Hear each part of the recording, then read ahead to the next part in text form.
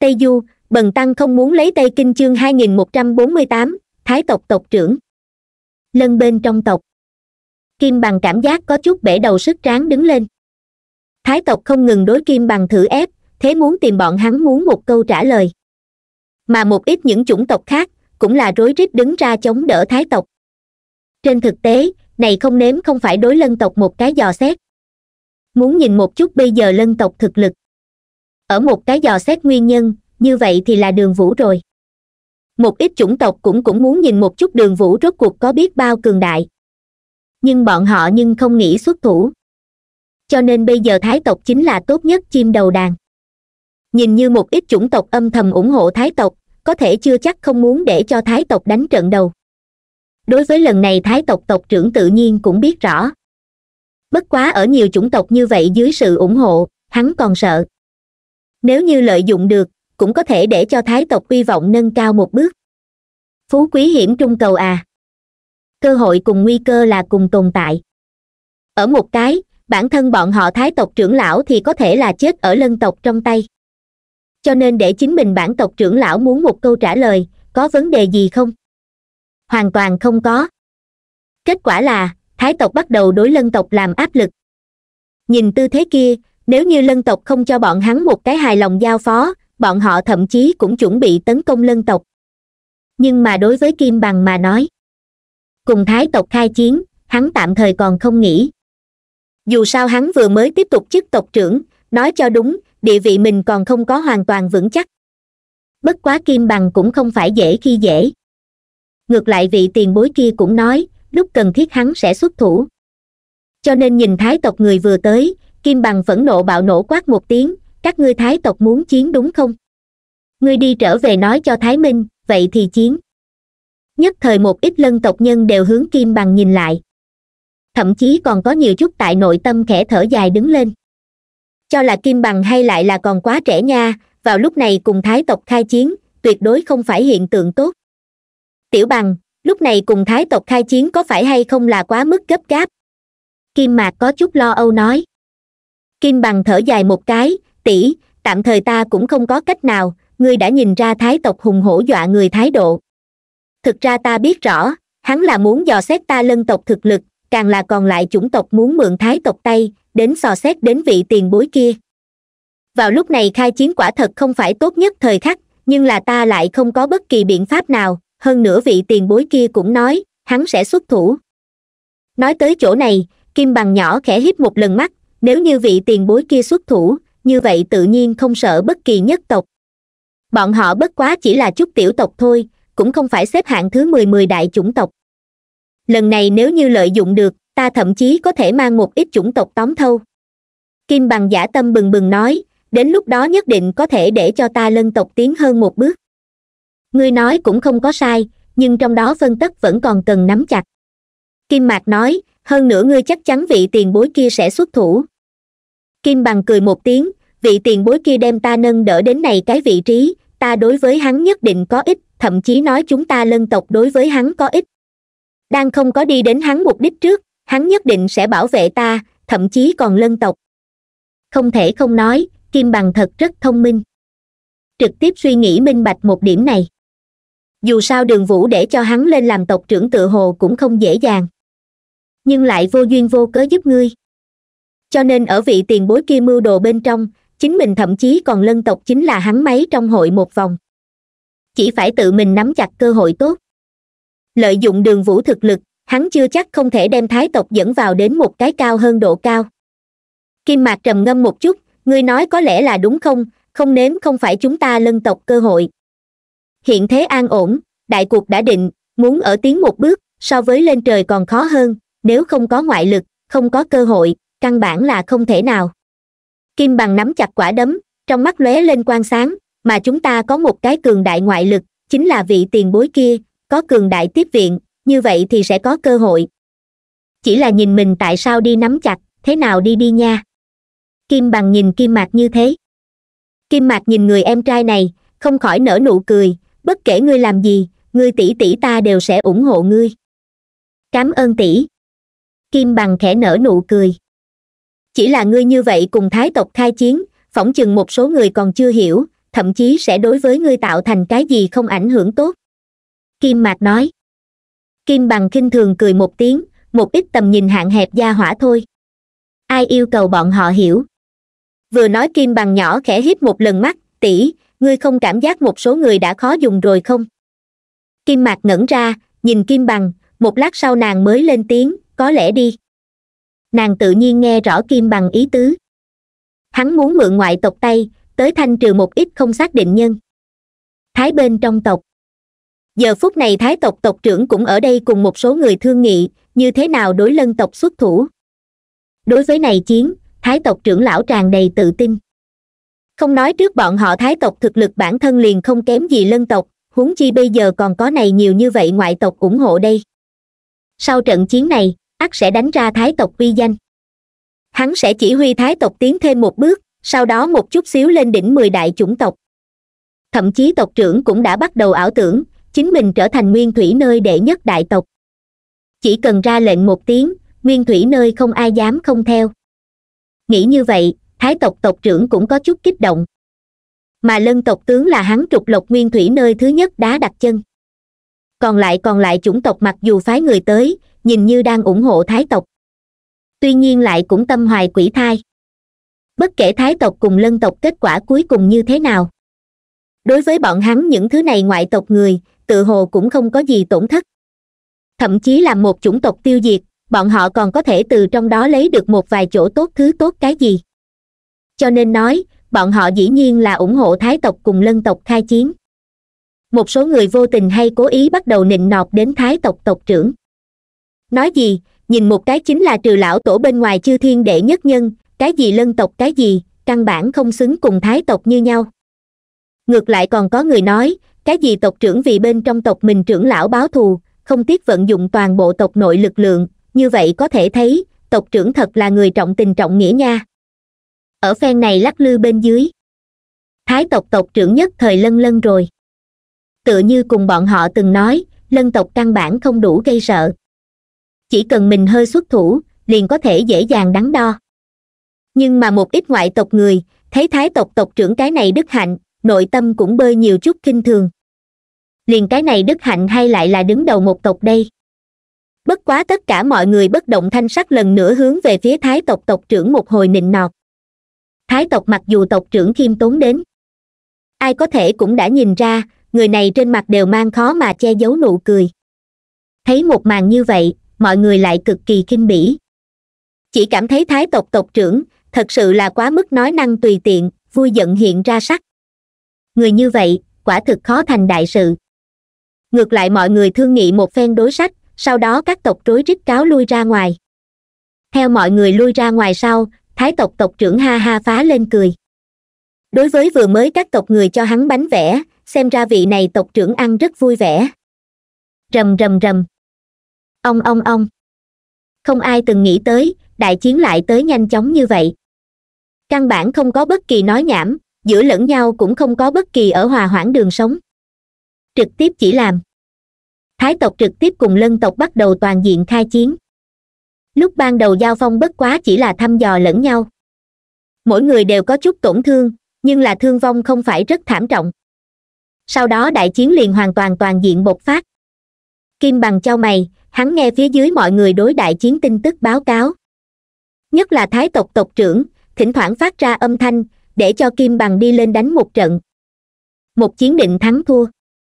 Đối với lần này kim bằng không có bất kỳ đáp lại. Bởi vì hắn biết rõ mình căn bản không phải là đối thủ. Nhưng này như vậy không trả lời, cũng đưa đến lân bên trong tộc có chút nhân tâm bất ổn rồi. Thái tộc chúng nhân rối rít phát ra cười nhạo thậm chí đang chửi kim bằng là một cái rụt đầu ô quy. Sau đó dẫn phát một trận cười to. Đối với âm thanh như vậy, khóe miệng của kim bằng có chút co quắp một cái. Chỉ cảm thấy đặc biệt khó nghe. Bởi vì hắn chính là ở âm thanh như vậy bên dưới lớn lên, cho nên hắn cố gắng lên làm lân tộc tộc trưởng. Vì chính là đem âm thanh như vậy mai tán đi xuống. Nhưng mà không nghĩ tới, cho dù bây giờ đã trở thành tộc trưởng, nhưng âm thanh như vậy như cũ còn có nha giờ phút này nội tâm của kim bằng tràn đầy phẫn nộ. Hắn trong lúc bất chợt bạo nổ quát một tiếng, tiền bối, giết hắn đi, giết bọn họ. Một ít chủng tộc đang âm thầm quan sát đến hết thảy. Nhưng mà nghe được kim bằng lời nói, lại hơi ngẩn ra. Bọn họ toàn bộ đều hiểu, đây là kim bằng đang để cho vị tiền bối kia xuất thủ. Nhất thời tất cả mọi người khẩn trương lên. Bởi vì bọn họ cho tới bây giờ cũng chưa nhìn thấy qua người kia xuất thủ đối với cái này thực lực cá nhân còn không có rõ ràng nhận thức. Bây giờ mượn thái tộc tộc trưởng thằng ngốc này, chờ đợi cái tên kia xuất thủ. Có lẽ có thể thấy được cái tên kia thực lực. Mỗi người người giờ phút này cũng hướng thái tộc tộc trưởng nhìn. Quanh trong lúc bất chợt một đạo thân ảnh hiện lên. Nhất thời tất cả thanh âm đều yên lặng đi xuống, toàn bộ đại chiến vào giờ khắc này cũng hơi ngừng. Đạo thân ảnh kia bao phủ hỗn độn khí hơi thở không cách nào thấy rõ hắn dung nhan. Duy có một đôi con mắt bên ngoài. Có thể thấy kia đôi con mắt tan thương, ở trong đó càng hàm chứa một loại vạn cổ cô độc. Phản phất hắn trải qua bách thế luân hồi như thế. Đây chính là người kia. Một ít không có bái kiến đường vũ nhân, giờ phút này đều có chút khiếp sợ. Thậm chí bao gồm, lân tộc kim mạc, bởi vì này cũng là nàng lần đầu tiên thấy được kim bằng trong miệng vị tiền bối này ánh mắt của đường vũ hướng bốn phía dò xét một vòng. Tất cả mọi người rối rít cúi đầu xuống, không dám cùng mắt đối mắt. Chỗ cao lạnh lẽo vô cùng. Đường vũ trong lúc bất chợt nghĩ tới những lời này. Hắn thật giống như đi tới năm xưa không nghĩ tới cảnh giới. Đi tới vượt quá quá nhiều người cảnh giới. Nhưng cho hắn mà nói, còn có huyên nhi hoặc là linh nhi, hắn vẫn như cũ không đủ. Một cái ánh mắt thiên địa thần phục đường vũ cũng không có bất kỳ mừng rỡ, có chỉ là một loại cô độc, cùng mệt mỏi đi. Ha ha. Tiếng cười lớn vang dội ở trong sân. Là thái tộc tộc trưởng phát ra âm thanh. Hắn nhìn đường vũ, ánh mắt mang theo kinh thường, ngươi chính là lân tộc kia vị khách khanh. Nhìn cũng không kiểu nào sao. Thái tộc đợi một ít trưởng lão cái gì khóe miệng có chút co quắp một cái. Bọn họ thậm chí còn có này một loại xung động, đó chính là xông lên đem tộc trưởng miệng chặn lại. Từ nơi này nhân quanh thân hỗn độn khí hơi thở, như có như không thật sự lan tràn uy thế, liền không phải có thể cùng xứng đôi. Trừ phi là lão tổ xuất thủ. Khả đồng dạng bọn họ lão tổ cùng lân tộc lão tổ như thế, tự hồ cũng ở bế quan. Đã nhiều năm không xuất thế rồi. Tộc trưởng. Đại trưởng lão nhắc nhở nói, ăn nói cẩn thận, ăn nói cẩn thận nha. Lúc này ánh mắt của đường vũ nhìn lại nhất thời đại trưởng lão có một loại khắp cả người phát rét cảm giác. Tự hồ liền ngay cả mình thần hồn đều run rẩy. Phản phất chỉ cần hắn một cái ánh mắt cũng đủ để nghiền nát chính mình hết thảy. Kim bằng nhìn trong lúc bất chợt xuất hiện đường vũ, giống như là ăn một cái định tâm hoàng như thế. Chỉ cảm thấy lòng tin tăng nhiều, không sợ hết thảy. Tham kiến tiền bối. Tham kiến tiền bối. Kim bằng liên đới lân tộc nhân đều rối rít hành lễ một ít lân tộc không có bái kiến đường vũ nhân, giờ phút này cũng âm thầm hướng hắn đánh giá, không biết rõ người này thân phận gì. Bọn họ lân tộc lúc nào có một cái như vậy nhân vật mạnh mẽ. Mà một ít biết rõ đường vũ nhân, đầu lại càng thấp xuống. Chính là cái này nhân, dễ như trở bàn tay giết lão tộc trưởng. Thậm chí căn bản cũng không có chiến đấu bi thế lan tràn. Cho nên hoàn toàn có thể là người này, một đòn toi mạng. Chỉ bất quá chỉ là một đòn liền giết lão tộc trưởng. Như vậy tu vi thật sự là nghe rợn cả người, khó có thể tưởng tượng nha. Tiền bối giết hắn đi. Kim bằng nhìn đường vũ nói. Những người còn lại đây. Đường vũ hướng hắn tộc ẩn nút chỗ nhìn thoáng qua. Cái nhìn này, nhất thời để cho bọn họ có một loại rợn cả tóc gáy cảm giác. Bất quá tỉ mỉ nghĩ lại, vị tiền bối này tu vi cường đại, phát hiện bọn họ chẳng có gì lạ. Mọi người liếc nhau một cái rối rít hiện thân mà ra, tham kiến tiền bối. Trong đó nghiêm tộc một vị trưởng lão nói, chúng ta chỉ là đi ngang qua, mong rằng tiền bối không nên hiểu lầm. Dựa theo người này kinh cũng tu vi, đem tất cả mọi người đều ở lại chỗ này tự hồ cũng là dễ như trở bàn tay có thể làm được. Đoàn đoàn đoàn. Có đá nổ tung, liên đới hắn nhân cánh tay. Theo đường vũ xuất hiện, một số người liền âm thầm lấy ra lưu ảnh thạch, muốn đem này một ít ghi xuống sau đó mang về bên trong tộc. Có thể không nghĩ tới vị tiền bối này lại phát hiện rõ ràng. Không chỉ đem lưu ảnh thạch vỡ nát, thậm chí ngay cả mang của bọn hắn một cánh tay. Bất quá mọi người cũng không có ghi hận, ngược lại, còn cảm ơn đái đức đứng lên. Bởi vì dưới cái nhìn của bọn họ, vị tiền bối này tu vi, muốn mạng bọn họ là dễ như trở bàn tay. Vỡ nát bọn họ cánh tay, chỉ bất quá chỉ là một bài học thôi như vậy có thể thấy, bọn họ là có thể sống. Đa tạ tiền bối. Những người đó rối rít đối đường vũ nói cám ơn đứng lên. Nhìn ánh mắt của đường vũ cũng tràn đầy cảm kích. Thái tộc tộc trưởng hơi nhíu mày. Mặc dù các tộc đã phái đi một tí nhân tới, liền trà trộn ở bọn họ thái trong tộc, dùng cái này tới gia tăng bọn họ thái tộc thực lực. Nhưng là không nghĩ tới, vẫn còn có nhân núp ở ám. Hơn nữa thân phận của bọn họ cùng địa vị đều là không thấp nhất thời thái tộc nội tâm của tộc trưởng nổi lên một tia dự cảm không tốt. Bất quá ngược lại suy nghĩ một chút, chính mình đã chiếm cứ thượng phong, còn có sợ gì? Thái tộc tộc trưởng suy nghĩ. Có lẽ trong lúc bất chợt xuất hiện này cá nhân tu vi rất là cường đại. Chính mình không nhất định là đối thủ. Nhưng hắn cho là lấy chính mình tu vi kéo đối phương hẳn là hoàn toàn không có vấn đề gì.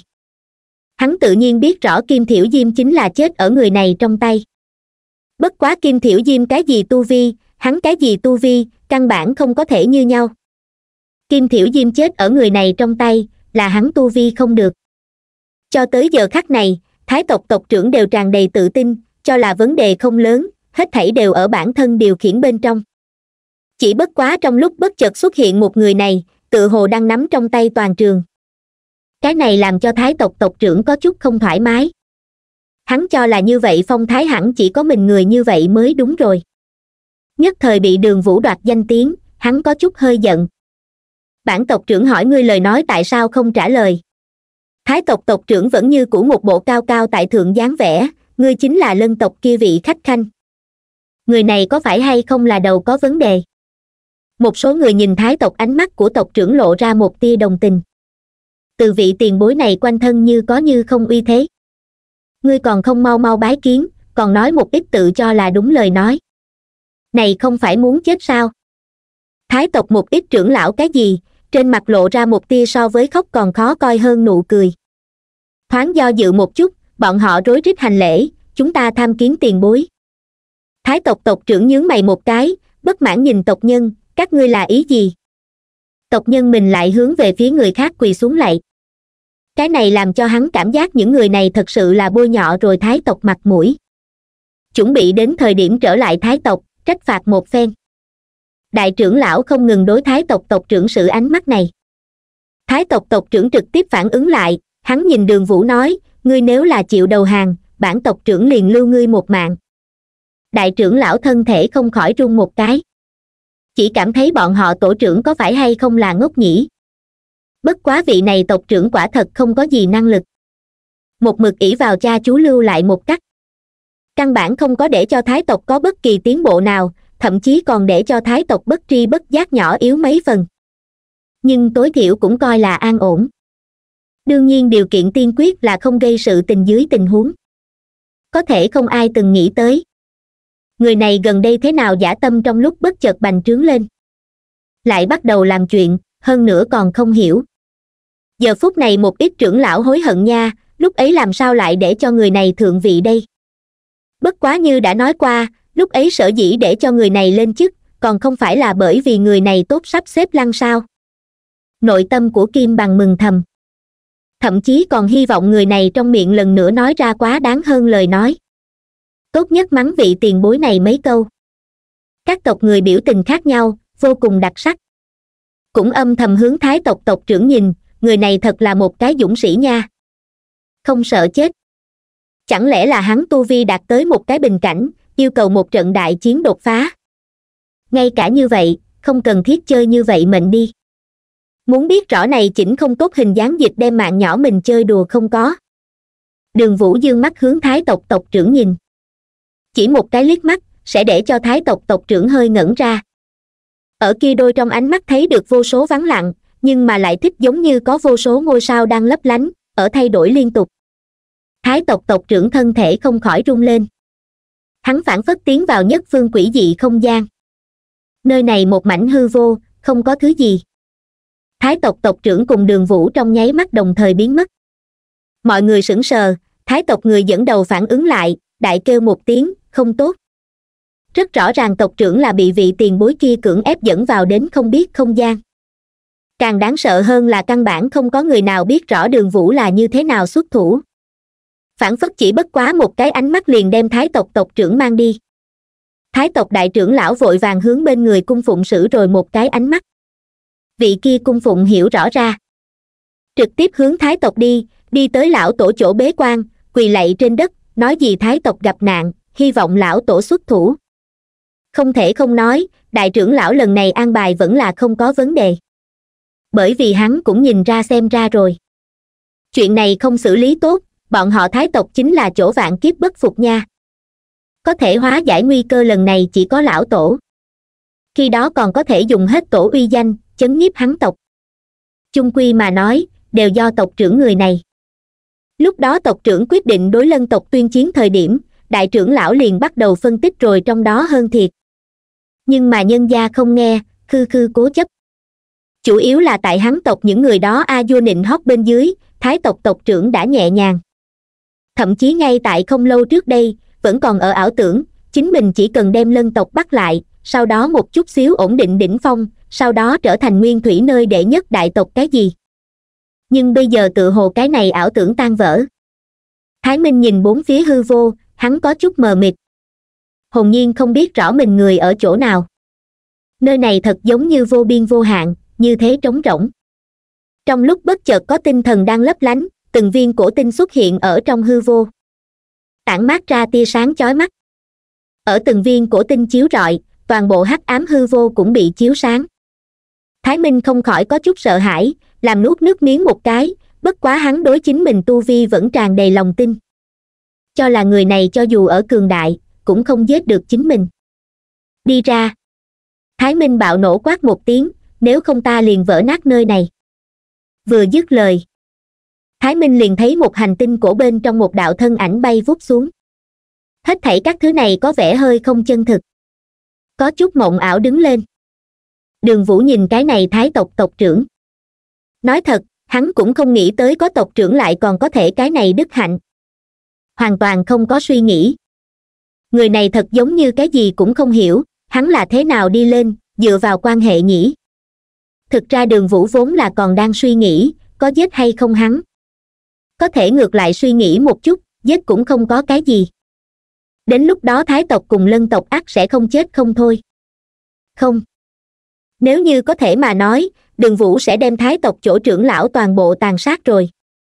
Sau đó để cho kim bằng tiếp quản thái tộc hết thảy. Cho nên nói trước mắt thái minh, sinh tử cái gì, đường vũ căn bản cũng không có quan tâm về phần tại sao không hề ngoại giới trực tiếp xuất thủ đây? Đường vũ quá rõ rồi, một số người đang ở mắt lom lom thậm chí đều tại hy vọng hắn xuất thủ. Sau đó tốt dùng cái này tới suy đoán thực lực của hắn như thế nào? Tựa như cùng như bây giờ, hắn hoàn toàn có thể trực tiếp giết chết thái minh. Có thể cũng không muốn làm như vậy. Nhưng vì thời gian càng lâu, những tên kia cũng sẽ cho là mình thực lực không gì hơn cái này. Bằng không có lúc quá mức cường đại cũng sẽ bị người nhầm vào. Ở một cái, một khi thật bị người nơi nhầm vào. Đường vũ rất dễ dàng ứng tiếp không nổi, thậm chí bạo lộ thân phận ra cũng không phải là không có khả năng. Cho nên bây giờ hắn thật sự làm là được tiếp tục câu. Để cho một số người cho là hắn tu vi không gì hơn cái này. Hừ, xem ra ngươi cũng biết rõ bản tộc trưởng tu vi cường đại, sợ hãi ta vỡ nát nơi này. Thái minh hừ một tiếng. Theo đường vũ hiện thân để cho thái minh càng cảm giác tràn đầy lòng tin. Tại chính mình dưới uy hiếp hiện thân. Như vậy có thể thấy, người này cũng không gì hơn cái này. Đường vũ tựa như liếc si như thế nhìn hắn một cái, cũng không nói lời nào, cũng không có gấp động thủ. Này, ta đang nói chuyện với ngươi. Thái minh có chút hơi giận nói. Người này lại dám không nhìn chính mình. Muốn biết rõ mình nhưng là thái tộc tộc trưởng nha. Im miệng nếu không ta liền giết ngươi. Đường vũ chán ghét nói. Hắn coi như là thấy rõ rồi. Người này tuyệt đối là dựa vào quan hệ đi lên. Bằng không lấy hắn đầu não tuyệt đối làm không được tộc trưởng. Thậm chí hắn đều đang hoài nghi, lần này thái minh đột nhiên cùng lân tộc tuyên chiến, có phải hay không là cũng là bị người khác thật sự mê hoặc. Liên quan tới một điểm này, đường vũ đoán tám chín phần mười. Khác một ít tộc khác thật sự mê hoặc thái minh bị lạc ở tộc khác người những thứ kia a vua nịnh hót bên dưới, để cho hắn lân lân rồi. Muốn giết ta? Thái minh kinh thường nở nụ cười lạnh. Quanh thân uy thế bay lên. Trong nháy mắt chiếu sáng chỉnh mảnh hư vô. Ông ông ông quanh thái minh dẫn đầu xuất thủ. Người này đem chính mình dẫn vào đến nơi này phương quỷ dị không gian, rất có thể bọn họ phía sau đối phó tộc nhân mình. Lân tộc thật là hèn hạ lại điệu hổ ly sơn. Biết rõ mình tu vi cường đại, để cho người ta đem chính mình dẫn vào đến xa lạ không gian. Bất quá không trọng yếu. Chỉ cần giết người này, như vậy hết thảy liền cũng giải quyết. Đến thời điểm hắn sẽ nhìn lân tộc hoàn toàn thần phục chân mình hạ. Sau đó hắn biết một chút điểm lên đỉnh cao phong. Ông ông ông. Cường đại pháp lực hội tụ thành từng cổ một dòng lũ.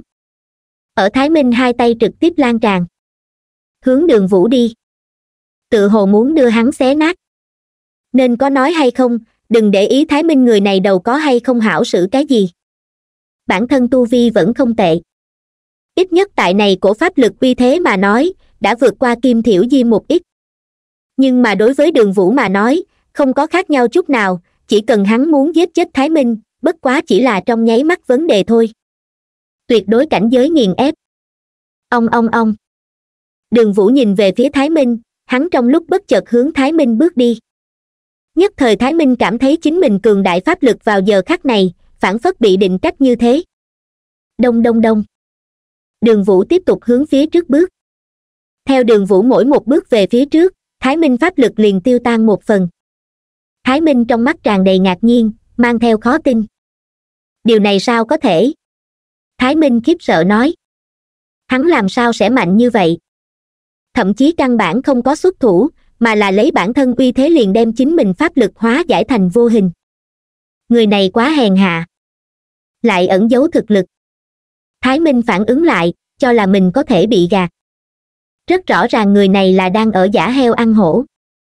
Quanh thái minh uy thế thu liễm, sau đó bay thẳng trốn mau chạy. Còn một bên ở tâm lý mắng thầm. Đáng chết, người này thế nào mạnh như vậy? Không được hắn được chạy chuẩn bị rời đi này phương quỷ dị không gian, sau đó đến thời điểm để cho toàn tộc đám người ẩu hắn. Chỉ là thái minh lại phát hiện, này phương không gian phản phất là vô tận đại.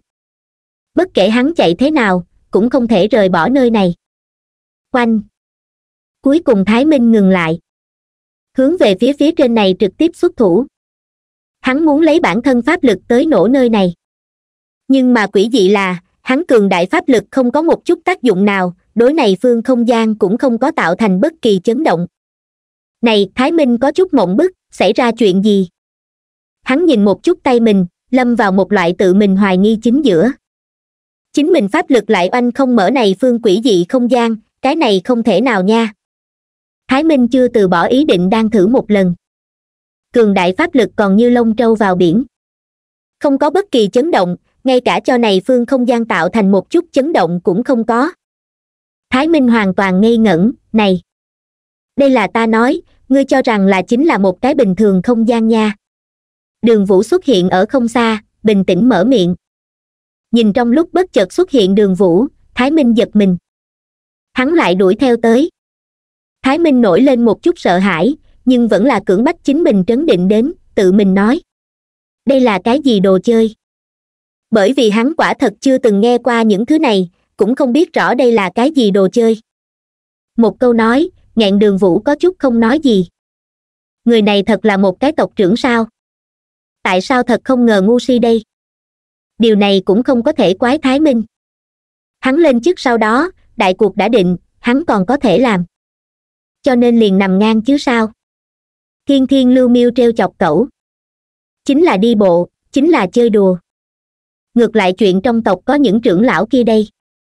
Nếu như ngay cả những chuyện này cũng không xử lý tốt, muốn bọn họ có ích lợi gì?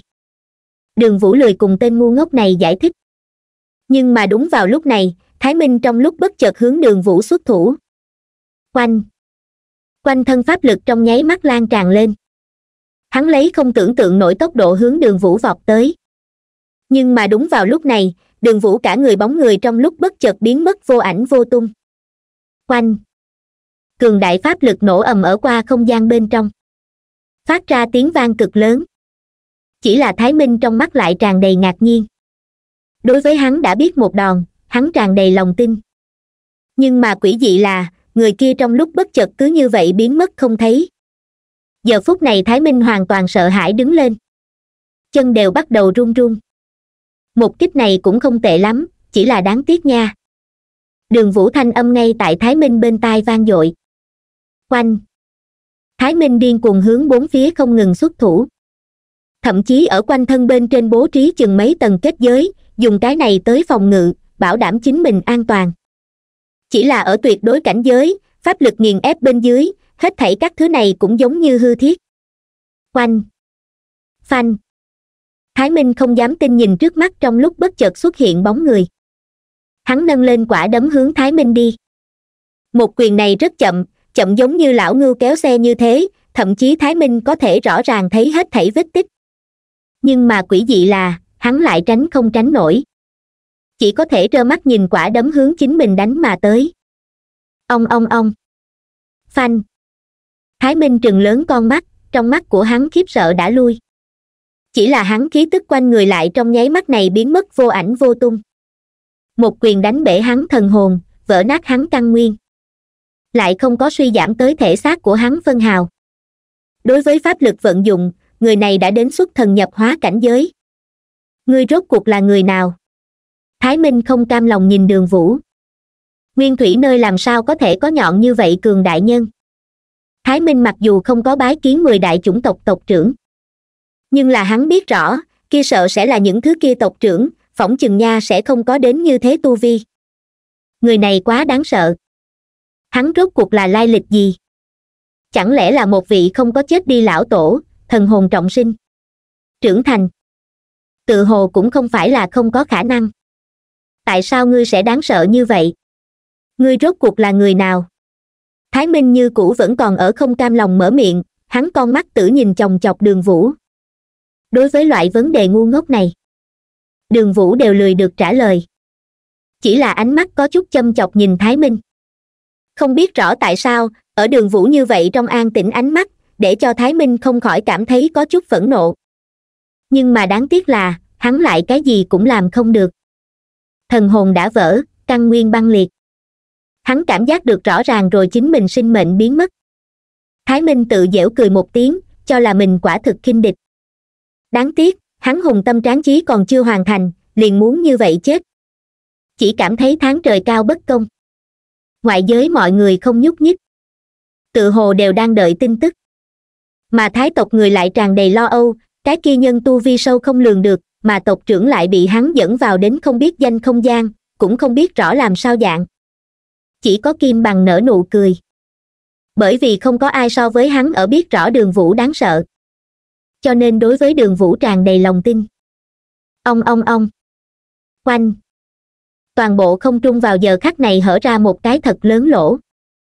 Một đạo thân ảnh rơi xuống mà xuống, té ngã trên mặt đất. Thái minh. Hắn đã không có bất kỳ sinh cơ rồi. Mọi người không khỏi lui về sau một bước.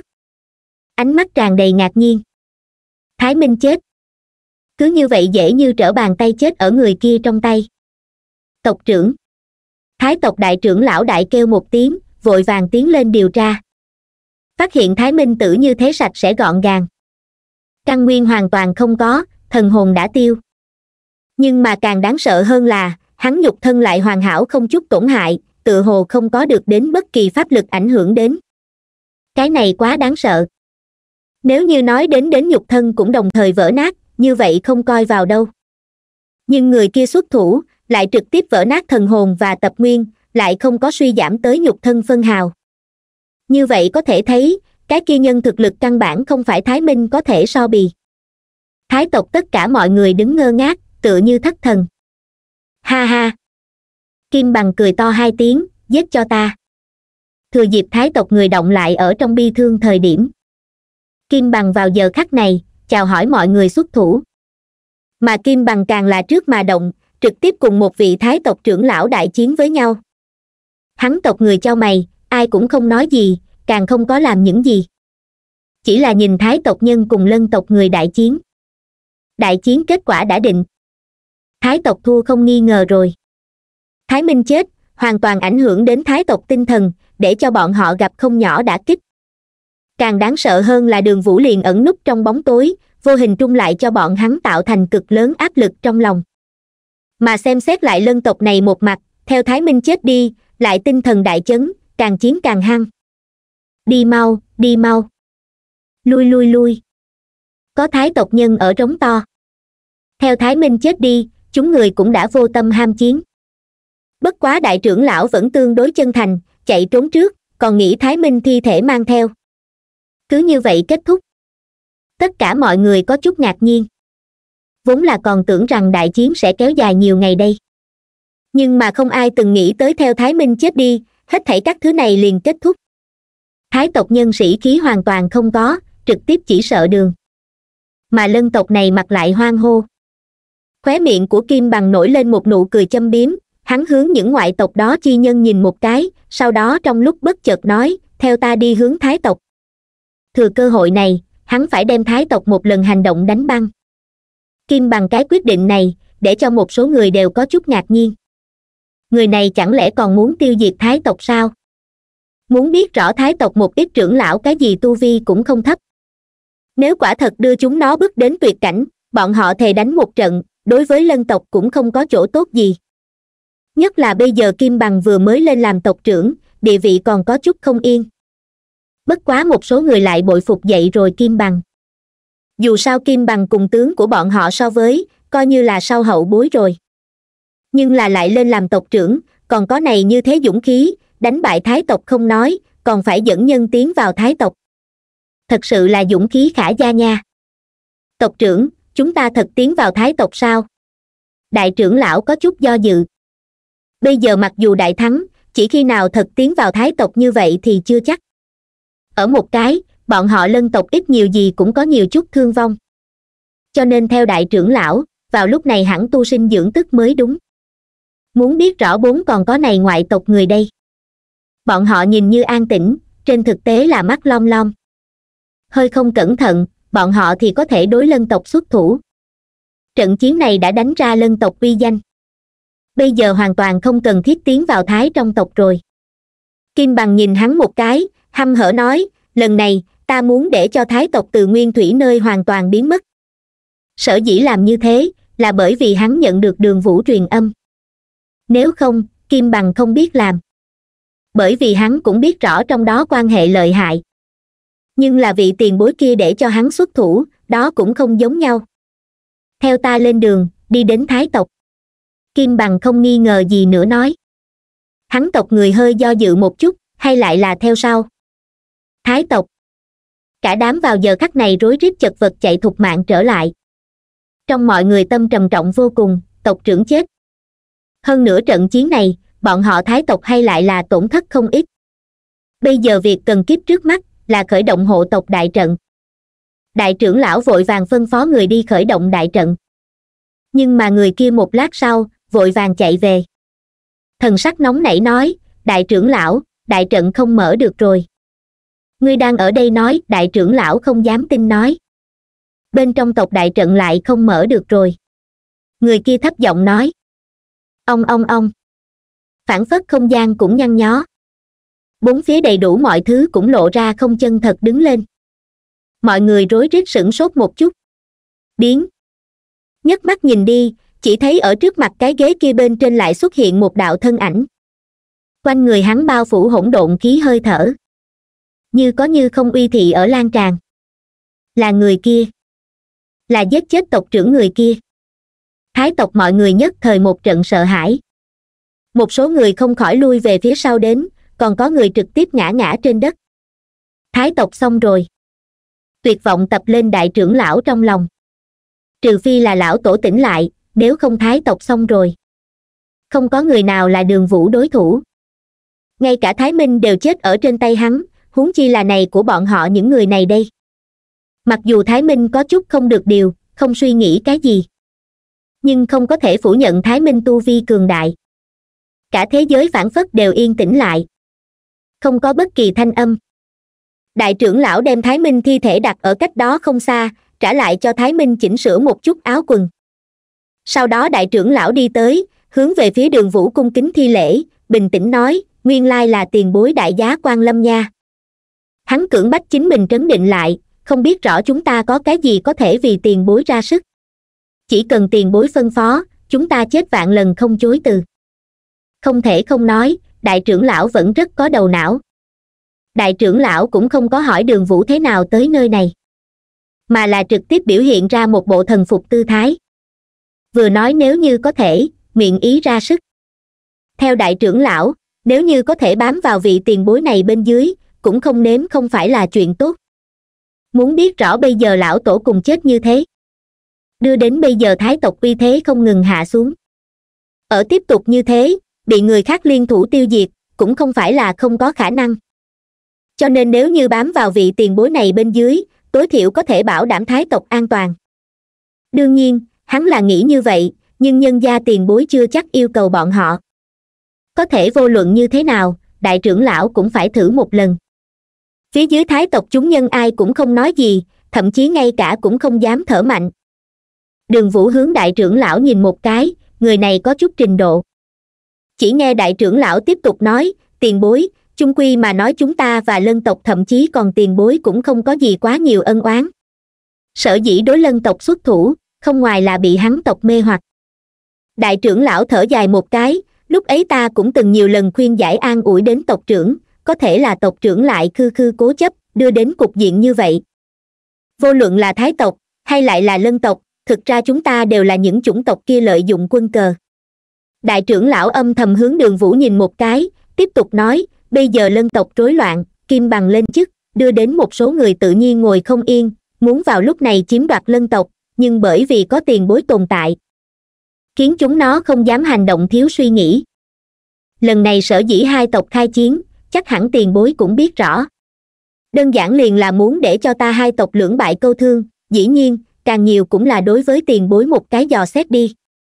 Dù sao nguyên thủy nơi trong lúc bất chợt xuất hiện tiền bối một cường giả như vậy, khó tránh khỏi sẽ để cho một số người có chút khẩn trương. Đại trưởng lão cười khổ một cái, luôn nói đến, chúng ta đều là quân cờ. Dừng một chút, hắn nghiêm nghị đứng lên, bây giờ nguyên thủy nơi nhìn như an tĩnh, trên thực tế trong tối sóng mãnh liệt ta không biết rõ tiền bối muốn làm gì, cũng không biết rõ tiền bối thân phận cụ thể.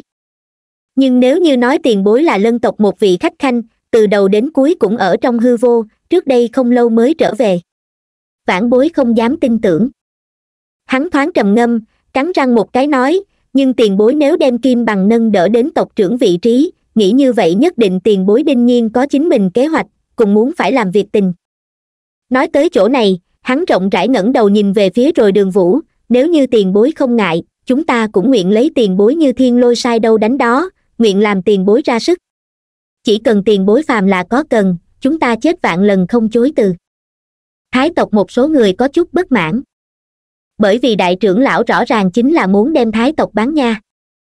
Nhưng là bọn họ lại không có bất kỳ biện pháp nào. Bởi vì bây giờ sinh tử cũng không có ở đây bọn họ trong tay thậm chí chỉ cần chọc người kia một cái mất hứng, bọn họ cũng sẽ tử, liên đới thái tộc cũng có thể vì vậy mà tiêu diệt. Mà có vài người cảm giác đại trưởng lão làm rất đúng. Không có gì. Nhưng vì chúng nó thái tộc vốn là nhỏ yếu. Năm xưa một ít cường đại chủng tộc cũng không phải là ở ra lệnh bọn họ làm một ít chuyện sao. Nếu không phản kháng được, như vậy thì tiếp nhận chứ sao? Đơn giản chính là biến thành người khác cái gì nghe lệnh. Đối với bọn họ mà nói không có vấn đề, ai khiến chúng nó là người yếu đây? Muốn còn sống, tự nhiên chỉ có thể nghe lệnh rồi. Ngay cả đường vũ đều có chút ngạc nhiên. Không nghĩ tới, đại trưởng lão tỏ thái độ kiên quyết như vậy. Vốn là hắn còn tưởng rằng một số người thề bất khuất đây. Thậm chí hắn đều làm xong giết gà dọa kỹ chuẩn bị. Nhưng mà lại không nghĩ tới, căn bản không yêu cầu chính mình nói thêm cái gì. Đại trưởng lão đã làm tốt quyết định. Lân tộc thái tộc. Nếu quả thật giữ tại rồi trong tay hắn, cũng là một cổ không thế lực nhỏ rồi. Lợi dụng này của thực lực, hoàn toàn có thể để cho nguyên thủy nơi một chút xíu loạn đứng lên. Huống chi bây giờ đã có nhiều chút rối loạn. Đồ chơi này một khi loạn đứng lên, muốn ở dừng lại đi xuống, liền không phải dễ dàng như vậy rồi. Trừ phi nhất phương ngã xuống, hoặc là thần phục. Đường vũ không nói gì. Chỉ là hướng bốn phía người nhìn chứ nhìn cho nên nhân cũng đang tránh né ánh mắt của đường vũ, cúi đầu, không dám cùng mắt đối mắt. Oanh! Kèm theo một tiếng cường đại tiếng nổ. Từng đạo khí tức kinh khủng đánh tới. Ngược lại truyền đến kim bằng thanh âm, thái tộc người, đi ra nhận lấy cái chết. Thái tộc một tất cả trưởng lão cũng không nói gì, mà là nhìn đường vũ. Nếu như đường vũ thật cự tuyệt. Như vậy đợi đợi chúng nó, chỉ có thể đánh một trận tử chiến rồi một lát sau, đường vũ mới lên tiếng, các ngươi lão tổ không phải có ở đây không? Nghe vậy, nội tâm của đại trưởng lão vui mừng, nhưng mà lại bất động thanh sắc nói, thật không dám giấu giếm nói, chúng ta lão tổ cùng lân tộc lão tổ như thế, tự hồ cũng ở bế quan. Dừng một chút, hắn lại tăng thêm không một cái câu, trừ phi là bên trong tộc sinh tử đại sự, nếu không lão tổ sẽ không hiện thân. Nói xong câu đó, đại trưởng lão liền hối hận bởi vì này hình như là đang uy hiếp đến vị tiền bối này như thế. Quả nhiên, hắn từ ánh mắt của đường vũ bên trong thấy được sát ý. Nhất thời đại trưởng lão cả người run lên. Rất không được cho mình hai miệng rộng tử. Thực ra đường vũ cũng không hề để ý cái gì. Vì sống tiếp, một điểm này thủ đoạn hắn thấy, này cũng không coi vào đâu. Thậm chí còn có nhiều chút nghiêng bội. Dù sao đại trưởng lão bây giờ đại biểu không phải mình, là cả thái tộc ồ đường vũ chỉ là nhàn nhạt đáp một tiếng, cũng không có đang nói gì. Nhưng mà này lại để cho đại trưởng lão không khỏi khẩn trương lên. Đường vũ hướng về phía kim bằng bí mật truyền âm, khai báo một ít chuyện. Kim bằng mày nhíu lại lại, có thể cũng không có nói gì. Ngược lại hắn và sau lưng mọi người khai báo một câu, ta vào nhìn một cái. Tộc trưởng, không thể nha. Lân bên trong tộc một ít trưởng lão nói. Thái minh chết chết ở vị tiền bối kia là trong tay. Nhưng ít nhiều gì cũng là cùng bọn họ lân tộc có một ít quan hệ. Nếu như kim bằng một thân một mình tiến vào bên trong, đang phát sinh nguy hiểm gì? Này bây giờ không phải lân tộc có thể chịu đựng. Ít nhất bây giờ lân tộc đã không có nhân có thể tiếp nhận chức tộc trưởng rồi. Mặc dù bây giờ kim bằng vẫn còn có chút non nớt, nhưng không thể chối kim bằng là lân tộc hy vọng.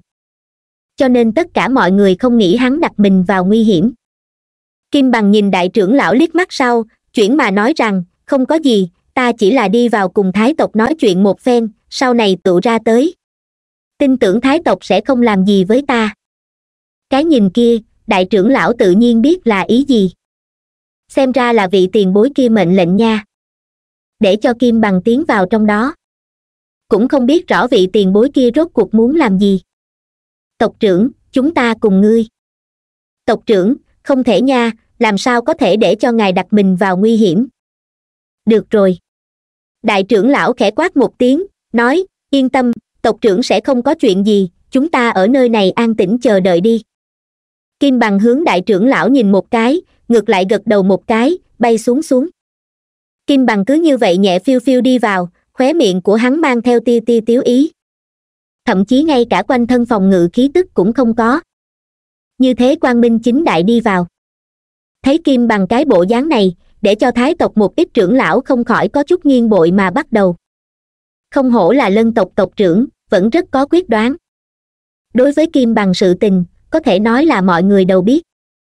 Bản liền không phải được cưng chiều bận rộn hài tử, vốn là ở lân tộc địa vị, thậm chí ngay cả một ít người làm cũng không bằng. Mà giờ khắc này lại trở thành lân tộc tộc trưởng. Không thể chối kim bằng ẩn nhẫn nhưng càng không thể chối, người này cường đại.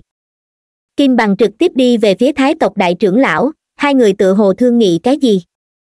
Hồi lâu sau sau đó kim bằng đi ra, trực tiếp tuyên bố, từ hôm nay trở đi, lân tộc cùng thái tộc trở thành hữu tộc. Tin tức này để cho tất cả mọi người đều sửng sốt một chút.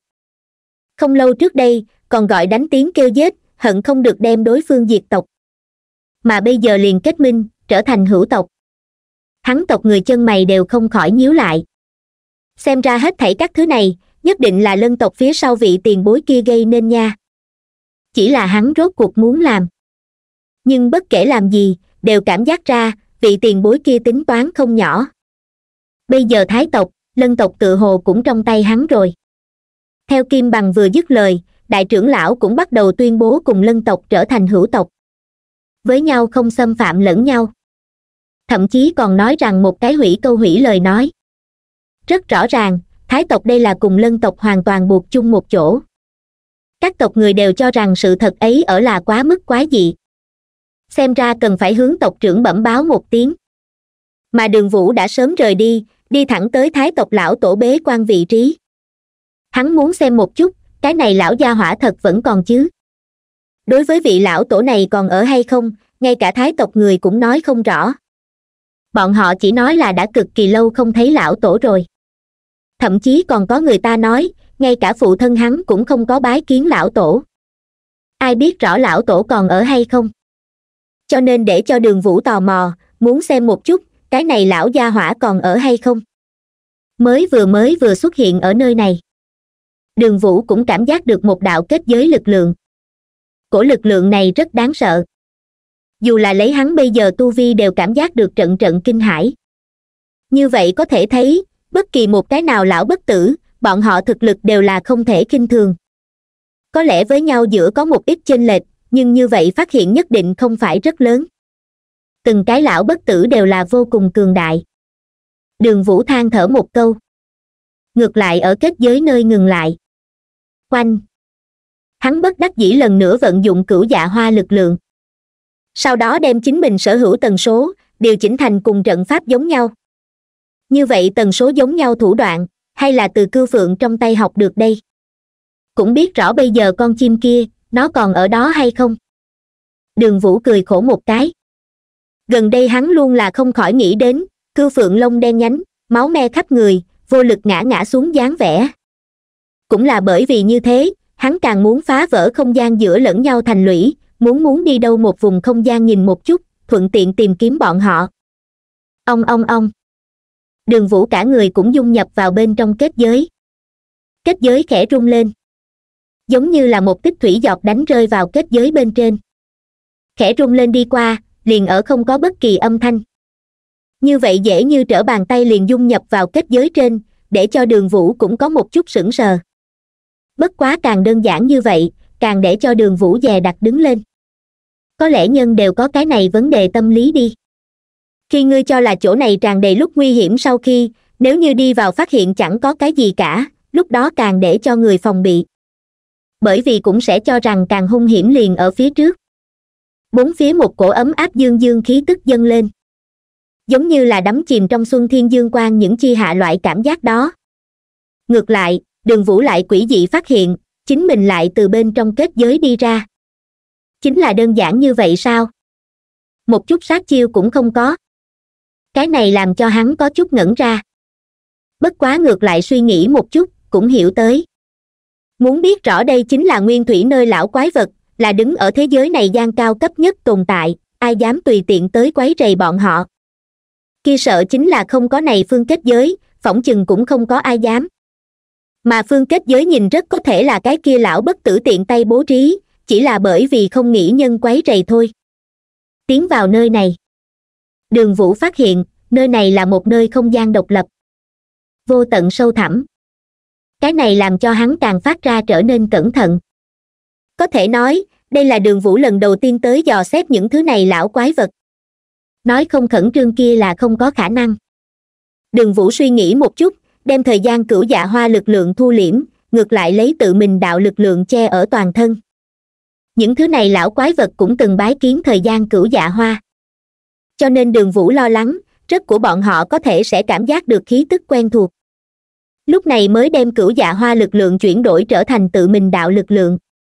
Tại chỗ dừng lại một chút chỉ chốc lát, đường vũ lúc này mới hướng bên trong không gian đi tới. Sở dĩ gan to như vậy, cũng là bởi vì hắn ở bên ngoài kết giới, để lại một đạo phân thân. Nếu quả thật có nguy hiểm gì hắn có thể trong nháy mắt cùng phân thân chuyển đổi, ngược lại làm cho mình chạy khỏi nơi này. Nhưng ngay cả như vậy, đường vũ như cũ còn có chút khẩn trương. Có lẽ là những thứ kia lão quái vật quá mức đáng sợ đi. Mặc dù cho tới bây giờ không có đối mặt quá, có thể vẫn như cũ không khỏi để cho hắn khẩn trương lên. Đường vũ cố gắng bình phục chính mình tâm cảnh. Mỗi đi một bước, đều cẩn thận thậm chí hắn cũng không dám lấy chính mình thần niệm thật sự dò xét bốn phía, chỉ sợ bị cái kia lão bất tử phát hiện. Này phương không gian quá lớn. Cũng quá mức sâu thẳm rồi. Tự hồ thế nào cũng đi không tới cuối. Khụ khụ. Trong lúc bất chợt có ho khan thanh âm truyền tới. Để cho đường vũ sửng sốt một chút. Cũng để cho hắn dừng bước, càng cẩn thận kỹ càng mà bắt đầu. Nguyên thủy nơi cái kia lão quái vật ở chỗ này nhất định là hắn. Chỉ là cái này lão quái vật lại đang nhẹ nhàng ho khan. Xem ra người này bị thương trên người. Chỉ bất quá hắn lân tộc lão tổ như thế, đều đã nhiều năm không ra. Rốt cuộc là người nào làm thương tổn hắn đây? Thời gian cửu dạ hoa. Nếu như nói thật có thể khiến chúng nó trọng thương, duy có thời gian cửu dạ hoa. Không chính xác phải nói là nhiều năm trước nhân vì thời gian cửu dạ hoa mà bùng nổ tràn đại chiến kia. Tràn đại chiến kia không biết có đến bao nhiêu nguyên thủy nơi lão quái vật chết chứ. Chỉ là vì cướp đoạt thời gian cửu dạ hoa. Nếu quả thật như thế. Như vậy cái này lão gia hỏa tuyệt đối là thương ở kia một trận đại chiến bên trong. Hơn nữa cho đến bây giờ, thương thế hắn cũng không có khôi phục. Nghĩ tới đây, đường vũ nhỏ khẽ hít một lần mắt. Thậm chí đang nghĩ mình có thể hay không giết chết người này đây? Ngược lại lắc đầu một cái. Cái tỷ lệ này không lớn. Kia sợ chính là cái này lão bất tử bị thương. Mình muốn giết hắn, cũng không phải như vậy dễ như trở bàn tay. Dù sao đây chính là nguyên thủy nơi lão quái vật nha. Ở một cái, nếu quả thật động thủ. Đại chiến khí tức chấn động, tất nhiên sẽ bị còn lại những thứ kia lão bất tử phát giác. Khi đó thậm chí bọn họ cũng có thể điều động một khi đúng như này, như vậy sẽ đem chính mình đưa vào hiểm địa. Khụ khụ. Tiếng ho khan thỉnh thoảng từ bốn phía truyền tới. Chỉ là âm thanh như vậy rất là phiêu hốt. Giống như là có ở đây không cùng bên trong không gian truyền tới thanh âm. Có chút mơ hồ, có chút xa xôi, có thể lại rõ ràng như vậy nắm chặt được. Đường vũ thoáng dừng lại một chút, tiếp tục hướng phía trước bước đi. Chỉ là vừa đi ra không có hai bước trước mặt lại nổi lên một đạo quỷ dị bóng người. Hắn đưa lưng về phía đường vũ. Thỉnh thoảng ho khan thanh âm chính là từ trong miệng hắn phát ra. Bóng dáng của hắn như thế mơ hồ, phản phất không ở trong không gian này, lại thích giống như không ở cái này thời không. Mà là từ cổ kim tương lai ánh chiếu mà hạ thân ảnh, đóng dấu ở nơi này. Khụ khụ. Đạo thân ảnh kia lần nữa ho khan. Đường vũ phát hiện, kèm theo cái thân ảnh này mỗi tầng hắn một tiếng bốn phía gian phản phất đều run rẩy đến. Tựa như lúc nào cũng muốn vỡ nát. Lúc sáng lúc tối. Nhìn có chút quỷ dị, nhưng mà trước mặt đạo thân ảnh này để cho đường vũ lại có chút sợ. Đây chính là nguyên thủy nơi lão quái vật, một người trong đó sao? Ông ông ông. Đạo thân ảnh kia trong lúc bất chợt lần nữa biến mất ở đường vũ trước mắt. Không ở nơi này phương không gian bên trong. Còn chưa ở nơi này phương thời không bên trong chính mình tiến vào cổ kim tương lai sao? Đường vũ nỉ non một cái câu. Đối với vừa mới thật sự phơi bày kia một đạo thân ảnh, hắn cũng có chút không nói được. Tự hồ đem chính mình che giấu ở cổ kim tương lai bên trong. Lại hình như là không ở nơi này phương không gian bên trong, tóm lại rất là mơ hồ. Duy nhất có thể xác định liền là tuyệt đối không phải thật thể. Xem ra cái tên kia chưa chắc ở nơi này phương không gian bên trong, rất có thể đem chính mình ẩn nặc đứng lên thậm chí đường vũ đều bắt đầu hoài nghi, còn lại lão bất tử có phải hay không là cũng như vậy. Nếu quả thật như vậy như vậy hắn còn sợ cái gì? Trực tiếp liền có thể quét ngang nguyên thủy đất. Chung tất biển, thí thần trùng, thời gian cửu dạ hoa. Đột nhiên có quỷ dị thanh âm vang dội đứng lên. Đạo thanh âm này tràn đầy nghi vấn. Đường vũ hơi ngẩn ra.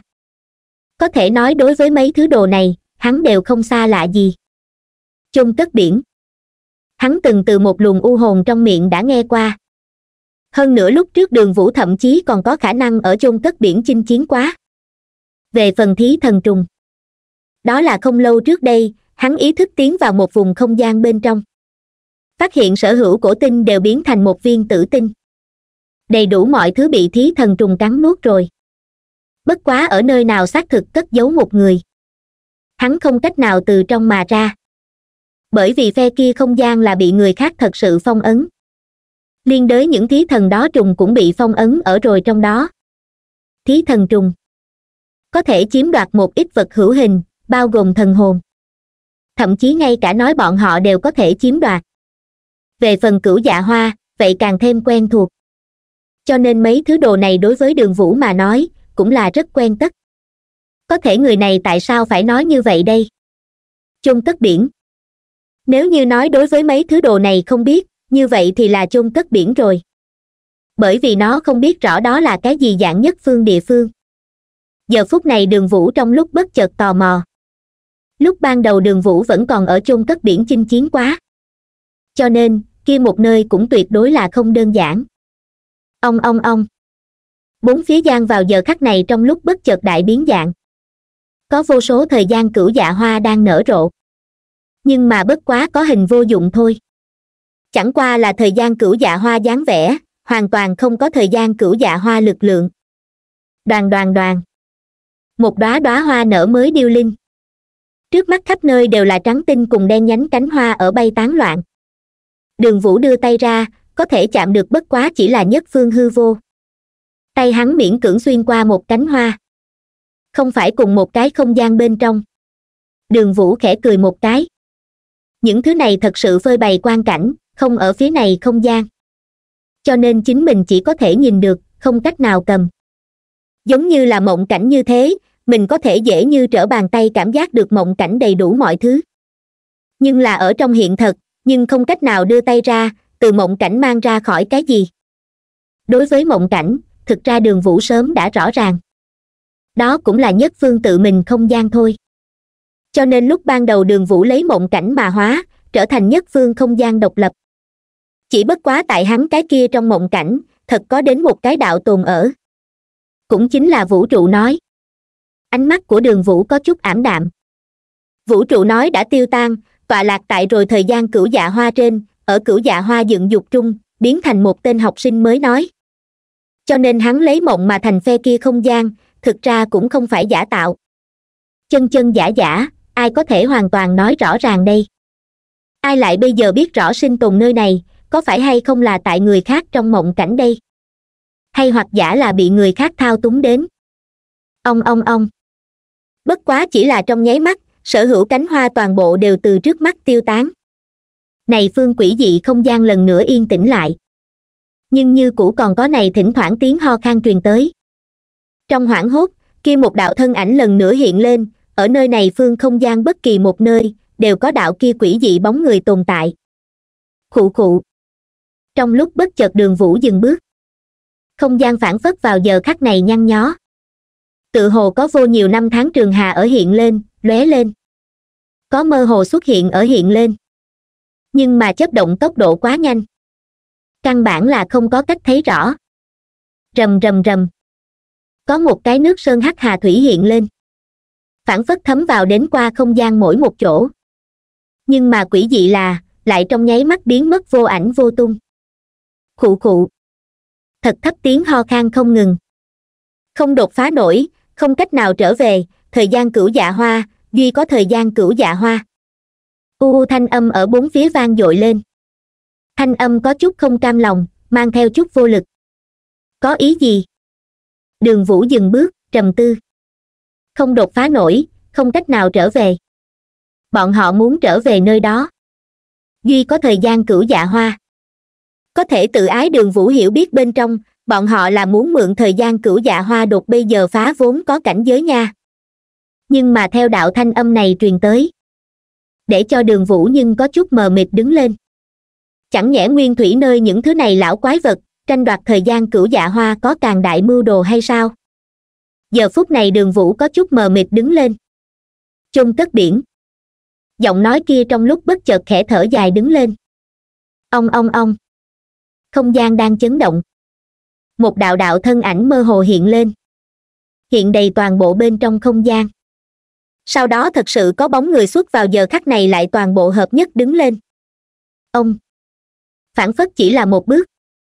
Đạo thân ảnh kia khóa vực vô số không gian, vô số khoảng cách từ quá khứ hay hoặc là tương lai bên trong đi vào thực tế. Thân ảnh mơ hồ vào giờ khắc này cũng hoàn toàn rõ ràng. Đường vũ ngạc nhiên nhìn cách đó không xa đạo thân ảnh kia. Cái này lão quái vật trở về chưa? Hắn từ khác nhau năm tháng trường hà bên trong đi trở lại thực tế sao?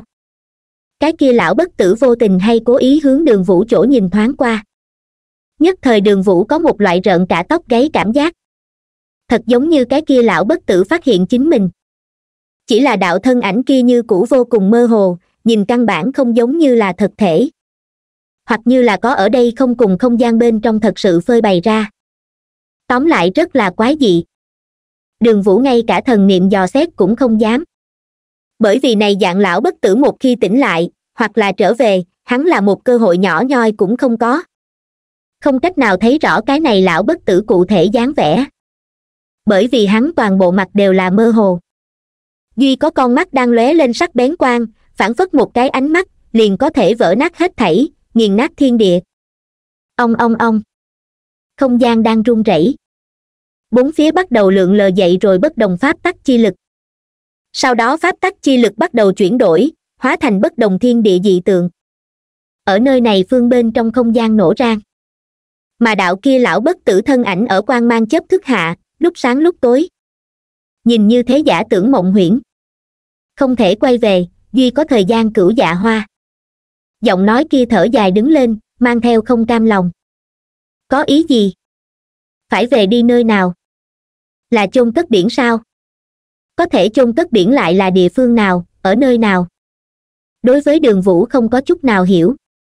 Nhưng nếu quả thật là chôn cất biển, như vậy cái này lão gia hỏa muốn phải trở về chôn cất biển.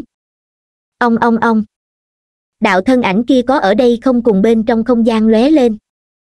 Sau đó một chút xíu biến mất không thấy gì nữa. Mà phương bên trong không gian lần nữa khôi phục bình tĩnh. Duy có vô tận sâu thẳm hắc ám. Theo cái kia lão bất tử biến mất, đường vũ lúc này mới nặng nề thở dốc một tiếng. Mặc dù lão bất tử chỉ là hướng nơi này hắn nhìn một cái, tự hồ cũng không có phát hiện hắn.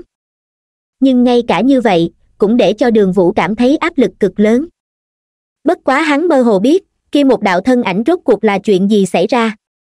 Hình như là tàn ở lại chỗ này một đạo chấp niệm. Không. Cái này chấp niệm tự hồ cũng ở đây bất đồng không gian thay nhau. Như vậy cái kia lão bất tử đây, chẳng nhẽ không ở nơi này sao? Hay là để cho chính mình đầy tới rồi còn lại không gian bên trong? Đường vũ tiếp tục hướng về bên trong đi tới. Thoáng trầm ngâm, hắn vẫn lộ ra thần niệm này phương không gian đầy đủ mọi thứ, trong nháy mắt dọi vào đến hắn trong đầu. Quả nhiên này phương không gian không có thứ gì. Cái kia lão không chết cũng không có ở đây. Đương nhiên, không loại bỏ là lão bất tử tu vi quá mức cường đại, chính mình thần niệm không dò được, cái này cũng có khả năng. Đạo thân ảnh kia ta cảm giác rất quen thuộc. Trong lúc bất chợt sang thiên kỳ bên trong kia một đạo yếu ớt tàn linh, mờ mịt lên tiếng. Âm thanh như vậy cặp dọa đường vũ giật mình lúc đó lấy được sang thiên kỳ, đường vũ liền phát hiện này một đạo suy yếu tới cực điểm tàn linh. Chỉ là hắn xác thực hoàn toàn không nhớ bất cứ chuyện gì rồi. Ở một cái cái này tàn linh cũng suy yếu tới cực điểm. Vốn là đường vũ còn tưởng rằng hắn đã sớm trúng độc rồi đâu rồi, nhưng là không nghĩ tới cái này gia hỏa sinh mệnh lực vẫn là rất ương ngạnh. Bây giờ còn đang khổ khổ chống đỡ. Bất quá đối với người này thân phận, đường vũ cũng có một cách đại khái suy đoán đó chính là nhất định là một tộc lão tổ một trong. Dù sao sang thiên kỳ là năm đó nhiều vị lão tổ bắt trước đến thời gian cửu dạ hoa lực lượng, cùng tế luyện. Nhưng mà lại có nhiều vị lão tổ bỏ mình. Cho nên đường vũ hoài nghi, người này định lại chính là ngày xưa lão tổ một người trong đó. Đồ chơi gì? Ngươi quen thuộc. Đường vũ hỏi thăm một câu. Ngược lại cũng hiểu tới. Nếu như người này thật là ngày xưa một cái lão bất tử như vậy đối với nguyên thủy nơi những thứ này lão không chết chắc nhưng là đều biết. Cho nên nói cảm giác quen thuộc cũng không kỳ quái. Đường vũ tiến vào tự mình đạo nội, đem sang thiên kỳ cầm trong tay, cảm thấy bên trong đạo kia tàn linh, vô cùng suy yếu. Ở đây sao đi xuống không bao lâu thì sẽ hoàn toàn trúng độc rồi. Cũng là bởi vì như thế, đường vũ mới không có trực tiếp xóa bỏ hắn. Đương nhiên, còn một nguyên nhân khác, chính là người này không nhớ rõ. Rất quen thuộc ta bái kiến hắn. Chung cất biển cũng nghe qua, vì sao lại quen thuộc như vậy đây? Đạo thân ảnh kia lần nữa mờ mịt đứng lên, vừa mới người là ai vậy kia Chung cất biển ở đâu? Đường vũ âm thầm lật rồi một cái liếc mắt. Ngươi nghĩ rằng ta biết rõ nha. Ngươi đều phải chết, ngươi còn muốn những thứ vô dụng này làm thí nha. Không đúng, ngươi đã chết, chỉ bất quá chỉ còn sót này một đạo tàn linh rồi, ta cho rằng ngươi cũng có thể chết đi đường vũ tức giận nói. Thậm chí hắn cũng đang lo lắng có muốn hay không đưa người này đoạn đường. Ngược lại cái gì cũng không biết rõ. Lưu hắn tác dụng gì? Nếu quả thật là nguyên thủy nơi lão tổ, nhớ một ít chuyện, như vậy đường vũ có thể từ trong miệng hắn hỏi dò một ít tin tức. Ngược lại chỉ còn sót một đạo tàn linh, cũng lật không nổi sóng gió gì rồi. Nhưng người này cái gì cũng không nhớ. Đối với chính mình một chút giá trị cũng không có hoàn toàn vô dụng. Tử. Ta chết. Giọng nói kia lần nữa mờ mịt đứng lên. Trong lúc bất chợt cái này tàn linh từ sang thiên kỳ bên trong vọt ra. Hắn mờ mịt hướng bốn phía nhìn một chút, sau đó ánh mắt rơi vào sang thiên kỳ bên trên, sang thiên kỳ. Thời gian cửu dạ hoa. Kẻ điên một cái. Đường vũ không thèm để ý hắn. Trong lúc bất chợt đạo thân ảnh kia gào lên. Ta chết chết ở bọn họ trong tay ta chết. Hắn kích động rống to. Phản phất vang lên vào lúc này cái gì? Quanh một chút xíu uy thế từ đạo kia tàn linh bên trên lan tràn mà ra. Điểm này uy thế đối với đường vũ mà nói, liền phóng rắm cũng không bằng. Đạo thân ảnh kia khi thì mờ mịt, khi thì ánh mắt trong suốt. Bất quá nhìn ra, ánh mắt của hắn một chút xíu tràn đầy linh. Ta là thất ngôn ta nhớ ra rồi, ta nhớ ra rồi trong lúc bất chợt đạo thân ảnh này ha ha phá lên cười. Tiếng cười tràn đầy bi thương. Chỉ bất quá cái này tàn linh nhìn càng hư ảo. Phản phất bất cứ lúc nào cũng sẽ tan thành mây khói như thế. Cốt nửa ngày sau, hắn nhìn về phía đường vũ, ánh mắt khẽ rung lên, là ngươi. Ngược lại hắn khẽ lắc đầu một cái, không, ngươi không phải hắn. Đường vũ nhỏ khẽ hít một lần mắt. Người này lại nghĩ tới bất quá lấy hắn như vậy tàn linh đối với chính mình hoàn toàn không có bất kỳ uy hiếp. Ta tồn tại không được bao lâu. Giọng nói kia đột nhiên nói. Thanh âm mang theo một loại tang thương, ta cũng làm không là cái gì, càng không tổn thương được ngươi ngươi có thể yên tâm. Xem ra ngươi quả nhiên là nguyên thủy nơi một vị trong đó lão tổ nhỉ. Chỉ là không biết là bộ tộc kia. Đường vũ hỏi thăm. Nếu thấy hay thì đừng quên like và đăng ký kênh để ủng hộ mình nha bộ tộc kia có trọng yếu không? Nếu như ta không có đoán sai, theo thân ta tử, tộc nhân ta cũng đều sẽ không có chứ. Hắc hắc, đây chính là nguyên thủy nơi, chính là chỗ này sao tàn khốc? Thất ngôn hắc hắc tự trào nở nụ cười. Nội tâm của đường vũ hào không dao động. Chỉ là bình tĩnh nhìn người này. Sang thiên kỳ hẳn là lúc ấy các ngươi mấy vị lão tổ liên thủ luyện chế chứ? Đường vũ nói, là căn cứ thời gian cửu dạ hoa khí tức luyện chế thậm chí nói các ngươi ở dùng cái này tới bắt trước thời gian cửu dạ hoa. Thất ngôn gật đầu một cái, quả thật như thế. Trong mắt của hắn nổi lên một chút ảm đạm. Bởi vì ngay tại sang thiên kỳ luyện chế thành công một khắc kia, giữa bọn họ lại xảy ra đại chiến. Mà thất ngôn chính là chết ở một lần kia đại trong chiến đấu. Chỉ là lại có một tia chân linh trời xuôi đất khiến phụ thuộc vào đến sang thiên kỳ bên trên, lâm vào ngủ say. Đường vũ lấy được sang thiên kỳ trong lúc vô tình lấy cửu dạ hoa khí tức đưa hắn tỉnh lại. Chỉ bất quá hắn lại quên mất chính mình hết thảy. Có thể không nghĩ tới ở dạng này địa phương, lại để cho hắn cái này tàn linh trời xuôi đất khiến nhớ lại đầy đủ mọi thứ. Nhưng nhớ tới kia hết thảy lại có thể thế nào đây? Hắn rất rõ ràng rồi, cái này tàn linh tồn tại không được bao lâu, thì sẽ hoàn toàn tan thành mây khói. Sau đó ngươi chết ở một ít lão quái vật trong tay. Đường vũ tiếp tục hỏi dò ngược lại người này cũng không có bất kỳ uy hiếp.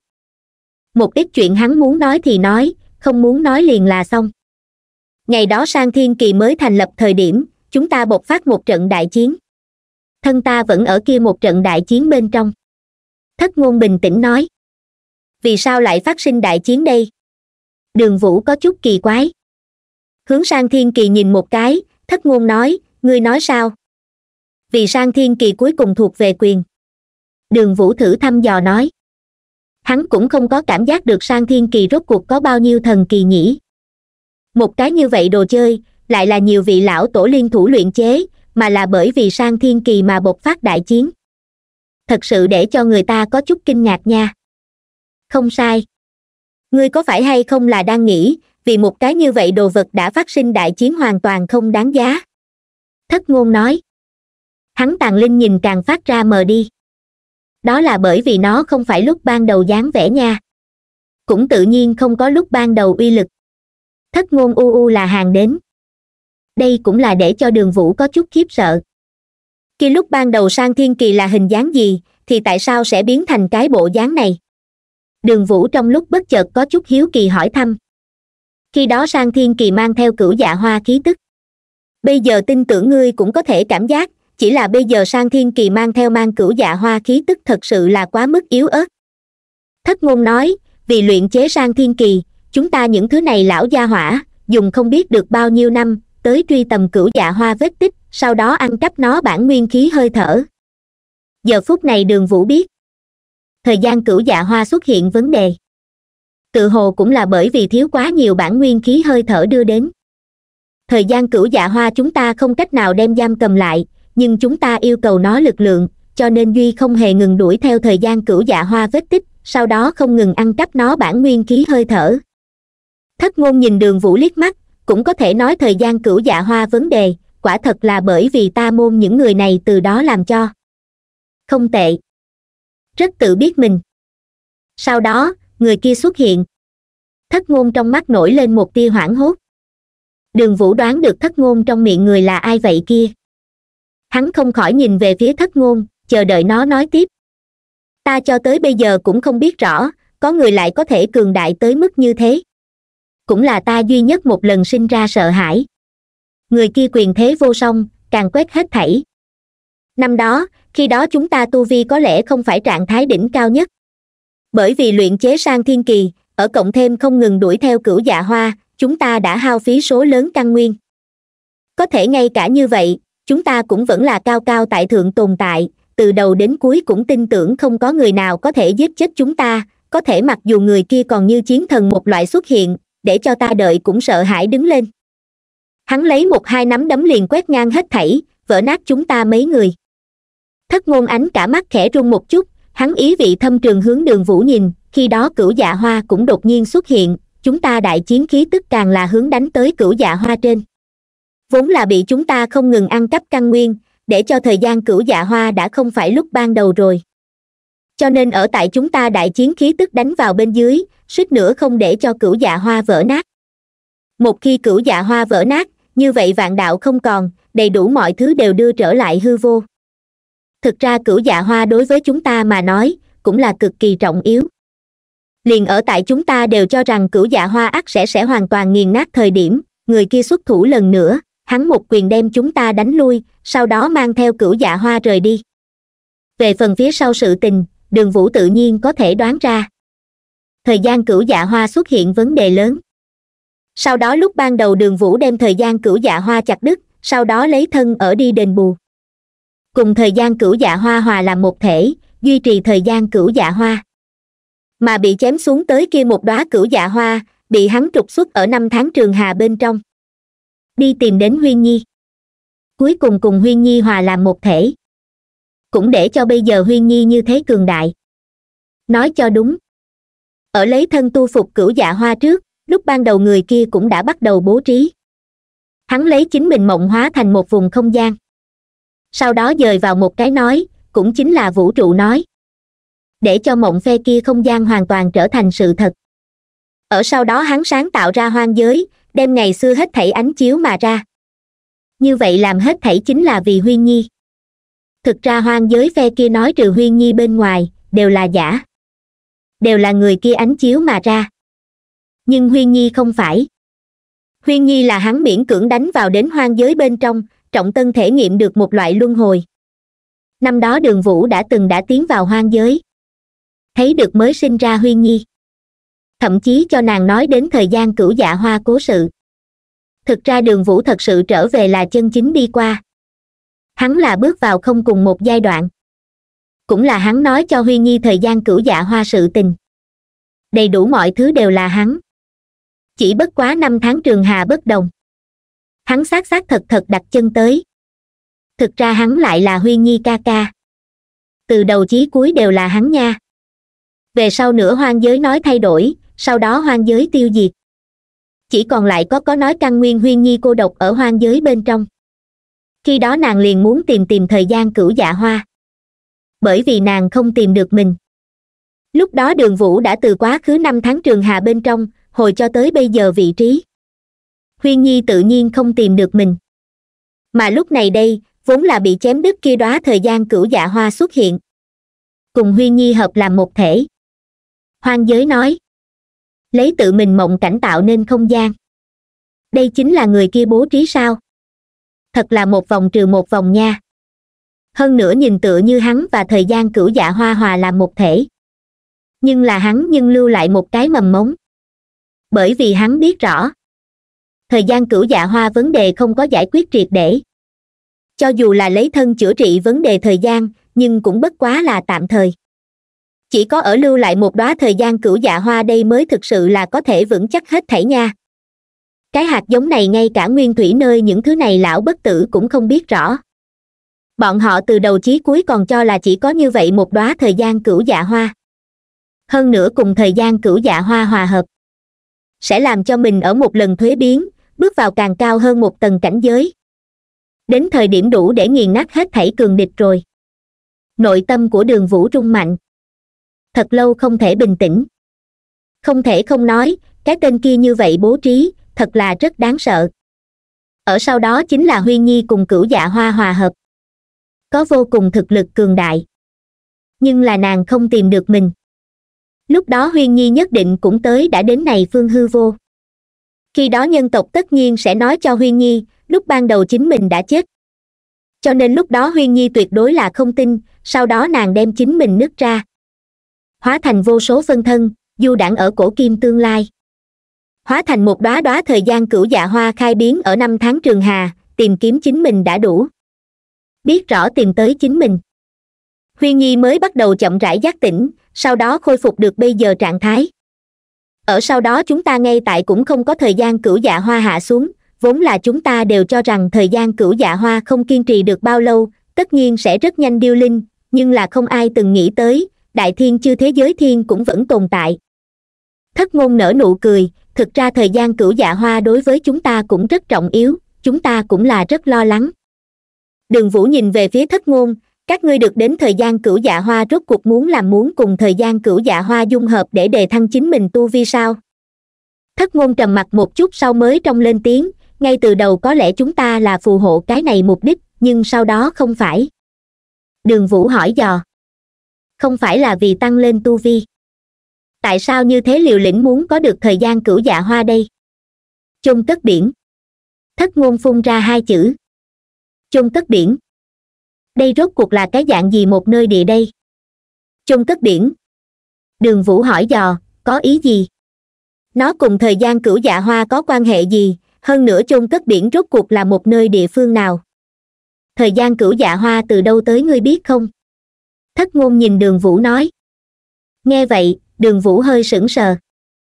Hắn quả thật không biết rõ thời gian cửu dạ hoa lai lịch. Chỉ biết rõ thời gian cửu dạ hoa thừa tái vạn đạo. Là tất cả nói cuối cùng nơi quy tụ, cũng là nói tân sinh chỗ. Có không ai sánh bằng lực lượng cường đại. Lời đồn đãi thời gian cửu dạ hoa chính là từ chôn cất biển đối diện bồng bềnh tới. Thất ngôn âm âm u u nói. Đường vũ trừng lớn con mắt hắn vốn là vẫn luôn cho là cửu dạ hoa là tình cờ thời khắc mà sống. Sau đó dần dần lớn lên, tạo thành đến bộ dáng bây giờ. Nhưng là người này lại nói thời gian cửu dạ hoa có điều này có thể là từ chôn cất biển đối diện bồng bềnh tới. Nếu quả thật như thế, như vậy chôn cất biển lại vừa là. Tu vi đến tình trạng như thế, tin tưởng ngươi cũng biết rõ. Vô hình trung, như cũ còn có này một loại quy luật, loại này quy luật chính là nói đầy đủ mọi thứ đều là nhân nói mà sống, cũng nhân nói mà tồn. Thất ngôn nói tỷ như vũ trụ nói sáng tạo hết thảy, cũng là bởi vì vũ trụ nói mà sống, đầy đủ mọi thứ cũng bám vào vũ trụ nói quy luật bên dưới xoay tròn. Có lẽ ở trên, ở chúng ta ai cũng không thấy được địa phương, còn có này một loại nói đang nắm trong tay hết thảy. Thất ngôn thở dài một cái, mà điều này cũng có thể liền núp ở chôn cất biển này mặt chôn cất biển rốt cuộc là. Không biết rõ không có người có thể đi qua. Không nói tới chỗ này, thất ngôn ngẩng đầu hướng đường vũ nhìn lại, năm đó người kia đã từng đặt chân qua chôn cất hải giới một bên, hơn nữa còn ở nơi nào xảy ra kinh khủng đại chiến. Lúc ban đầu chính mình đã từng chinh chiến quá chôn cất biển. Liên quan tới điểm này, đường vũ từng nghe quá một đạo tàn hồn nói qua. Nói mình đã từng mang theo hắn, với chôn cất hải chi nơi chinh chiến quá. Ngay cả các ngươi cũng gây khó dễ sao? Đường vũ thử thăm dò hỏi. Chúng ta không cách nào đi đến chôn cất biển mặt khác, nhưng là lại có thể đi đến hắn giới thay đổi. Mà người kia năm đó hắn từng suýt nữa vượt qua chôn cất biển, có thể không biết rõ nguyên nhân gì, lại miễn cưỡng lui trở lại. Thất ngôn nói, mà chúng ta muốn vượt qua chôn cất biển, cần phải mượn một vật. Thời gian cửu dạ hoa. Đường vũ một chữ một cái nói. Giờ phút này hắn mới hiểu được thái tộc lão không chết ở phe kia không gian bên trong lời muốn nói mấy cái tự có ý gì. Thất ngôn gật đầu một cái, đây cũng là chúng ta không tiếc hao phí nhiều năm luyện chế sang thiên kỳ. Thì ra là như vậy nha. Không trách bọn họ như thế khát vọng muốn có được thời gian cửu dạ hoa đây. Thậm chí còn ăn cắp thời gian cửu dạ hoa căn nguyên. Giờ phút này đường vũ trong lúc bất chợt nghĩ tới, ở nơi cấm địa này, miên thủy nơi lão không chết ở bắc trước thậm chí nói ở tự mình tạo nên đến thời gian cửu dạ hoa. Xem ra bọn họ cần thời gian cửu dạ hoa lực lượng, tới khiến chúng nó vượt qua chôn cất biển. Cho nên sang thiên kỳ biến thành bây giờ bộ dáng, ta nghĩ, năm đó sang thiên kỳ hoàn thành sau đó, có người sử dụng sang thiên kỳ muốn nhìn một cái có thể hay không trải qua chôn cất biển. Nhưng suy đoán, nhất định là thất bại. Thất ngôn nhẹ nhàng nói. Liên quan tới một điểm này đường vũ cũng đoán được nếu quả thật thành công, sang thiên kỳ tuyệt đối không phải là bây giờ cái này đức hạnh. Có lẽ duy có thời gian cửu dạ hoa mới có thể trải qua chôn cất biển đi. Kia sợ chính là thời gian cửu dạ hoa không độ được, nhưng chỉ cần đưa nó dung hợp, nhất định cũng sẽ làm cho mình càng thêm cường đại. Có lẽ khi đó dựa vào bản thân thực lực của chính mình cũng đủ để vượt qua rồi. Thất ngôn nhìn đường vũ liếc mắt. Bóng dáng của hắn càng ngày càng nhạt. Kinh bạc giống như một đạo sương mù đầy đủ mọi thứ đều mơ hồ đi xuống, không nhìn rõ rồi. Đã sớm sáng tỏ chiều hôm ảm đạm. Thất ngôn nhẹ nhàng nói, có thể tại sao phải đi tầm đạo đây? Hắn cười khổ một cái, có lẽ giờ khắc này hắn là như vậy có chút hối hận đi. Dù sao mình cũng trúng độc rồi. Kèm theo một tiếng thở dài, người này hoàn toàn tiêu tán. Mà nội tâm của đường vũ lại thật lâu không thể bình tĩnh. Chôn cất biển chôn cất biển kia một nơi rốt cuộc có cái gì? Hay hoặc là chôn cất biển ở nơi nào? Trong lúc bất chợt đường vũ hướng bốn phía nhìn một cái, sau đó trống lớn một tiếng, tỷ, linh tỷ. Chờ rồi nửa ngày, không có bất cứ động tĩnh gì. Ai, cái kia ai, cái kia cô nàng ngươi có ở đó hay không dời ạ? À? một cái thanh tú quả đấm xông tới mặt, trực tiếp đem đường vũ đánh bay. Linh nhi cắn răng, trợn to hai mắt nhìn hắn, ngươi nói. Tỷ tỷ, linh tỷ. Đường vũ vội vàng nói. Linh nhi hừ một tiếng, mài răng nói, ta xem ngươi chính là cần ăn đòn, nếu như sau này ở giám hồ ngôn loạn ngữ, ta liền đánh ngươi. Vừa nói đối đường vũ huy vũ một chút quả đấm nhỏ, tỏ vẻ nhắc nhở. Tỷ, linh tỷ, ta cho ngươi đi ra ngoài là có chút việc. Đường vũ nói. Linh nhi hì hì nở nụ cười, đôi mắt thật lớn tràn đầy nụ cười, trên mặt lộ ra thật sâu má lúng đồng tiền nàng ho nhẹ một tiếng, ông cụ non nói, chuyện gì? Ngươi biết rõ chôn cất biển sao? Đường vũ hỏi luôn đáp. Theo đường vũ, nếu nguyên thủy nơi lão bất tử cũng biết rõ chôn cất biển. Như vậy huyên nhi cùng cái này cô nàng cũng là nhất định biết rõ. Hỏi huyên nhi không nhất định tự nói với mình. Nhưng linh nhi cũng không giống nhau, hai câu phỏng chừng cũng có thể hống nàng không tìm được bắt. Ghê gớm nhiều kêu mấy thanh tỷ chứ, cũng không phải là không có kêu lên linh nhi trong mắt nổi lên vẻ ngạc nhiên, ngươi là từ nơi nào nghe được? Sang thiên kỳ bên trong cất giấu một cái hắc ám lão bất tử tàn linh, vừa mới cái kia lão bất tử tàn linh hiện lên, hắn nói. Đường vũ nhìn linh nhi nói. Không biết rõ. Linh nhi đầu nhỏ rung cùng một cá bát lãng cổ tựa như, không biết rõ nha, ta cái gì cũng không biết rõ, chưa từng nghe qua cái gì chôn cất biển. Nhìn một cái nàng cái bộ dáng này, đường vũ liền biết rõ, nàng tuyệt đối biết rõ chỉ là không tự nói với mình. Đường vũ ho nhẹ một tiếng, trên mặt nở một nụ cười, tỷ, linh tỷ. Cút một bên kéo đi. Linh nhi tức giận nói, nhìn ngươi cười bỉ ổi như vậy, nhất định là không có chuyện gì tốt. Đi đi đi cút đường vũ nụ cười một hồi, chỉ cảm thấy linh nhi sẽ không thưởng thức. Vậy làm sao có thể là nụ cười thô bỉ đây? Mặc dù hắn không thấy mình cười, nhưng là hắn tự mình cho là nên là rất hoàn mỹ, rất tuấn tú thật khó nhìn, đều là tan thương. Linh nhi ghét bỏ nói. Chỉ là ánh mắt của nàng lại khẽ rung một chút, nổi lên một tia thương tiếc. Đường vũ sững sờ, hắn tự tay xoa xoa chính mình mặt. Thực ra chính hắn đều cảm giác cười có chút cứng ngắc. Thật rất khó nhìn sao? Đường vũ chưa từ bỏ ý định hỏi. Nhớ năm đó ca cũng là mười dặm tám hương nổi danh tuấn tú hậu sinh. Đỡ lấy gương mặt này đi ra ngoài, cũng có thể mê đảo ngàn vạn thiếu nữ làm sao lại thay đổi bây giờ cái này đức hạnh đây? Khó coi, cười giống như khóc tựa như. Linh nhi không chút lưu tình nói. Được rồi được rồi. Đường vũ bất đắc dĩ vừa nói, ngay sau đó phản ứng lại, không đúng rồi, ta hỏi ngươi chôn cất hải sự tình, thế nào kéo tới ta nụ cười lên? Đúng nha, ngươi hỏi, ta cũng trả lời rồi, ta nói, ta không ngờ, cái gì cũng không biết rõ, chưa từng nghe qua linh nhi nhón chân lên vỗ đường vũ bả vai. Lão đệ nha, ta phỏng chừng chính là cái kia lão bất tử. Cố ý trước khi chết hồ biên loạn tạo rồi một chỗ, cho ngươi buồn rầu. Cái gì mẹ hắn chôn cất biển tám biển, hoàn toàn không có. Ngươi loại ánh mắt này nhìn ta xong rồi cái gì? Lại nhìn ta đánh ngươi. Linh nhi hướng về phía đường vũ vung quả đấm, tỏ vẻ uy hiếp. Chỉ là ở ánh mắt của đường vũ bên trong, ánh mắt của nàng lại tránh núp vào. Khụ linh nhi nhẹ nhàng ho khan mấy tiếng, thật không có lừa ngươi, không biết rõ cái địa phương này. Lão đệ, ngươi suy nghĩ một chút chị của ngươi ta sống nhiều năm như vậy, ta như vậy cường đại, địa phương nào không thể đi đâu rồi, chuyện gì là ta không biết rõ đây? Có đúng hay không, nhưng ta thật không biết rõ cái gì chôn cất biển tám biển. Nàng giang tay ra, ngươi không tin liền là xong. Xem ra cái này cô nàng là không tính tự nói với mình rồi. Đường vũ thở dài một cái cái tên kia nói có lẽ thời gian cửu dạ hoa có thể trải qua chôn cất biển. Ai nói ngạch, ta sao không biết rõ cái gì chôn cất biển đây? Linh nhi nói, lão đệ, ta biết rõ ngươi nấu cơm tay nghề không tệ, bằng không ngươi cho ta chỉnh ăn chút gì đó, hai ta vừa ăn vừa nói chuyện. Này rõ ràng chính là ở đổi chủ đề. Đường vũ làm sao có thể không hiểu đây? Hắn nhìn chằm chằm linh nhi, trực tiếp làm hỏi, chôn cất biển rốt cuộc là địa phương nào? Không biết rõ không biết rõ. Ngươi nghe không hiểu sao? Linh nhi có chút tức đến nổ phổi đứng lên, hỏi lại, ta đánh ngươi. Người ta cũng nói, không biết rõ, không biết rõ, còn hỏi hỏi một chút, có phiền hay không? Được rồi, ta đi nha. Ta không muốn nhìn thấy ngươi, không việc gì thời điểm không nên gọi ta, có là chuyện thời điểm, muốn không nên gọi ta, phiền ngươi. Đường vũ kéo nàng lại tay, tỷ, linh tỷ. Buông tay, ta ghét ngươi sau này không muốn nói cùng, với ta, không nghĩ để ý tới ngươi. Linh nhi có chút thở phì phò nói. Đây là chuyện gì? Không phải là hỏi một chút chôn cất biển sao? Thế nào phản ứng lớn như vậy, có chút kích động đây.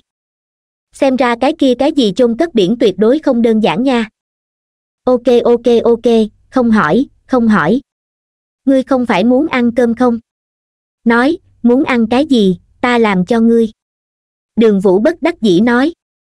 Ngươi làm cái gì ta ăn cái gì?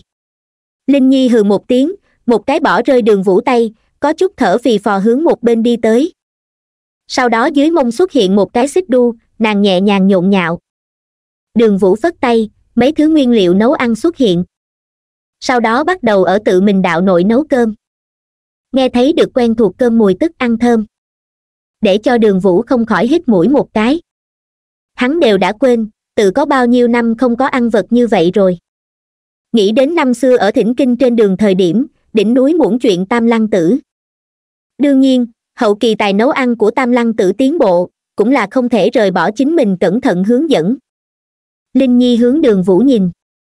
Chỉ thấy ánh mắt của hắn bình tĩnh như nước, thâm thúy để cho người ta có một loại bị lạc cảm giác. Nhưng mà như cũ có thể thấy kia chôn sâu tan thương cùng cô độc. Lâm nhi ngồi ở trên xích đu ngoẹo đầu đánh giá đường vũ.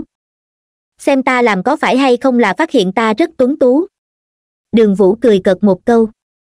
Ta chỉ là nhìn ngươi tóc, rất đẹp. Linh nhi tức giận nói. Đẹp mắt không? Đường vũ cúi đầu, có mấy sợi tóc bạc rủ xuống. Linh nhi vừa định phải nói cũng không tệ lắm, nhưng mà vừa nhìn thấy đường vũ cái bộ dáng này, nàng vội vàng lắc đầu nói, khó coi. Như vậy tóc là bao nhiêu tang thương thương lão lên căn nguyên phơi bày ra đây. Cho nên thật khá là khó coi. Rất nhanh đường vũ lại thuận tay làm xong mấy món ăn. Linh nhi trực tiếp chạy tới, hít mũi một cái, không tệ không tệ, nghe còn rất hương ánh mắt của nàng quay tiếp một vòng. Sau đó trong tay xuất hiện hai vò rượu.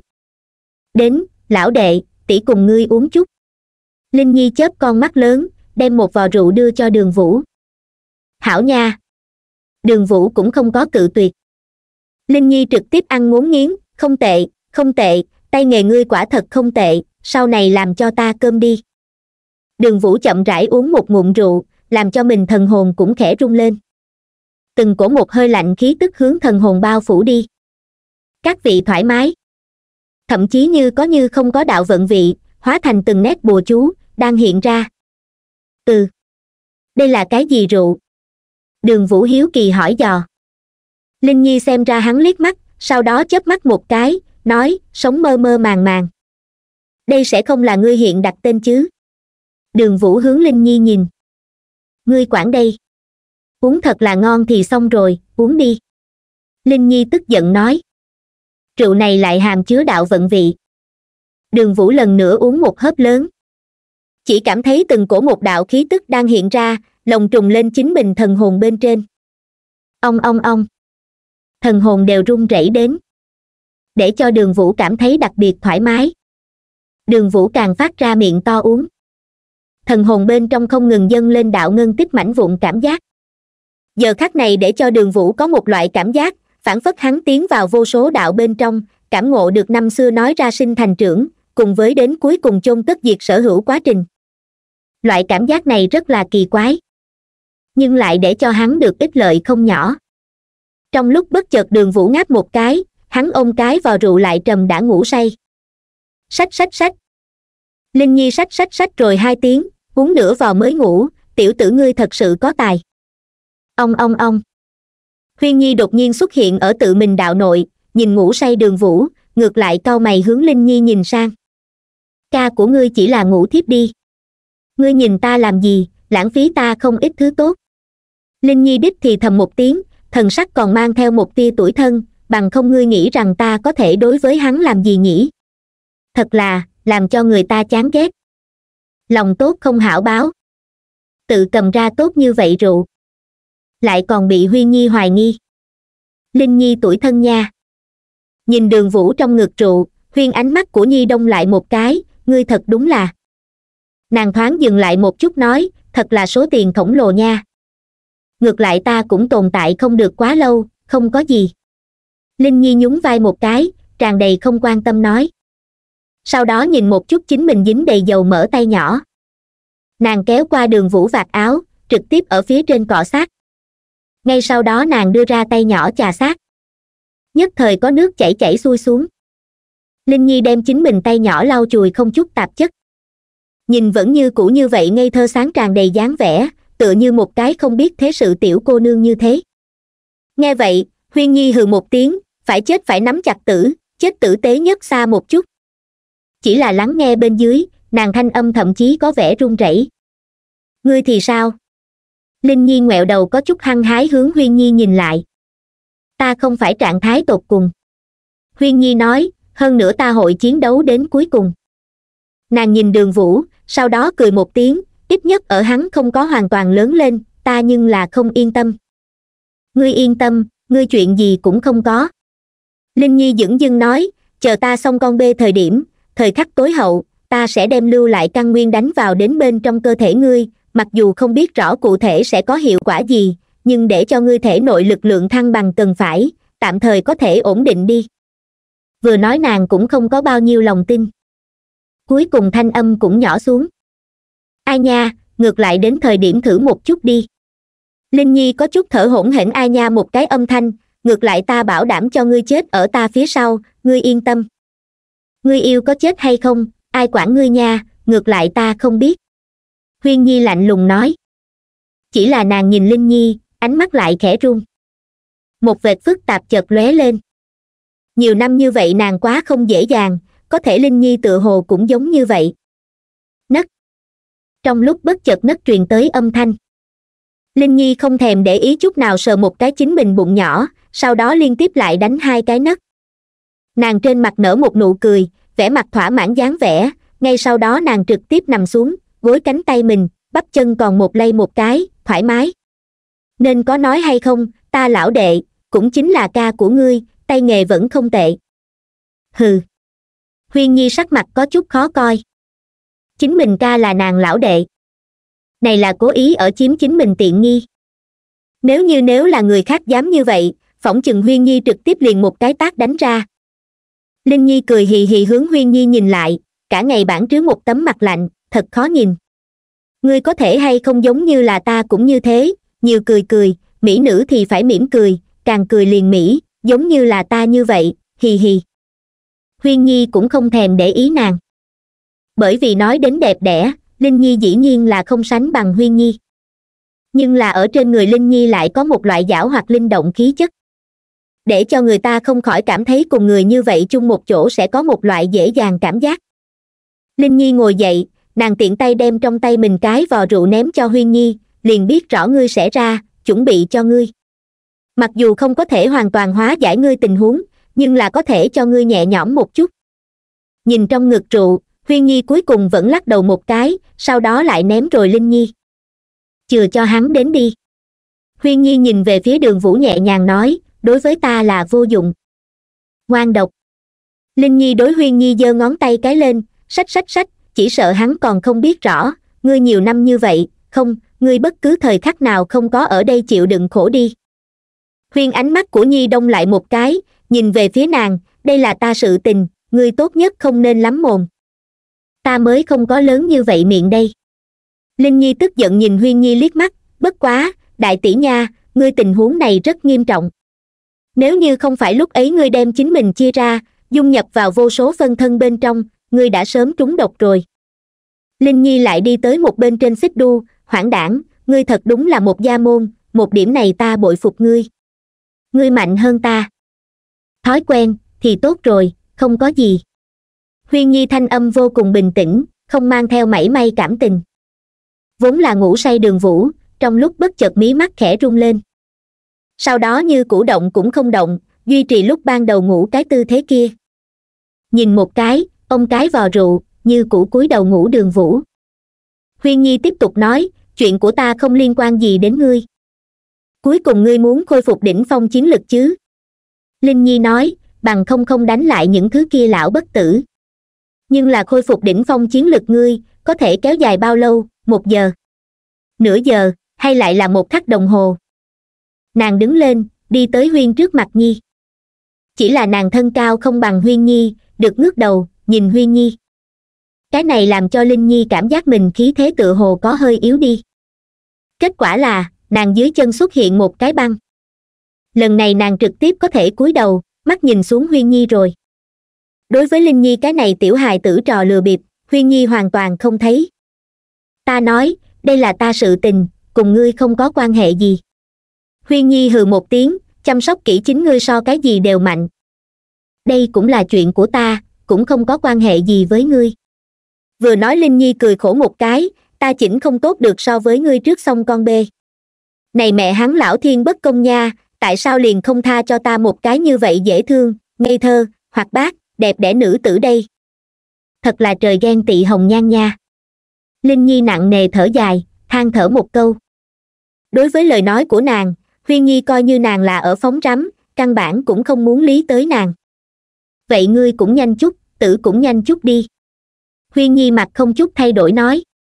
Linh nhi trừng lớn con mắt, đưa ngón tay ra đến huyên nhi, ngươi ngươi linh nhi mang chỉ huyên nhi tốt nửa ngày mới nói, ngươi thật không ngờ tuyệt tình, để cho ta một cái như vậy đẹp đẽ thiếu nữ xinh đẹp đi chết, ngươi có hay không chọn người tính? Ngươi có còn lương tâm hay không? Khóe miệng của huyên nhi nổi lên một tia nụ cười kinh bỉ. Có chút đùa cợt nhìn linh nhi. Nhưng mà không biết rõ nghĩ tới điều gì huyên nhi trong lúc bất chợt thở dài một cái. Nàng dời đi ánh mắt, nhìn về phía còn đang ngủ đường vũ. Đi tới trước mặt đường vũ nàng sờ một cái đường vũ mặt. Này, ta và ngươi nói thật đây. Linh nhi buồn buồn nói, đến thời điểm đem ta căn nguyên đánh vào bên trong cơ thể ngươi, có lẽ ngươi cũng không cần thống khổ như vậy. Huyên nhi bình tĩnh nói, có lẽ đi. Nhưng ta không nghĩ. Vì. Bởi vì ta không muốn thiếu ngươi, giống như là ngươi nói, ngươi ghét ta, mà ta lại tại sao nếm không phải như thế đây? Huyên nhi nói. Nghe vậy, linh nhi che ngực trên một bức không đến tức dáng vẻ. Tự hồ bị huyên nhi tức không nhẹ. Nàng run rẩy chỉ huyên nhi, tốt nửa ngày sau mới lên tiếng, được. Ta không nghĩ nói chuyện với ngươi ngươi đi lập tức, ta cũng không muốn nhìn thấy ngươi. Huyên nhi trực tiếp biến mất, đều lười được nói chuyện cùng nàng rồi. Mà linh nhi trong miệng lại hùng hùng hổ hổ đích lẩm bẩm. Đường vũ thật giống như ở nửa ngủ nửa tỉnh giữa. Loại cảm giác này rất là kỳ quái. Trong hoảng hốt hắn tự hồ có thể nghe được huyên nhi cùng linh nhi nói chuyện. Nhưng là lại xa xôi như thế, làm cho người ta một loại không chân thiết cảm giác. Để cho hắn không phân rõ rốt cuộc là thực tế hay lại là mộng cảnh. Ông ông ông. Thần hồn run rẩy, đang dệt ra vô số sợi tơ.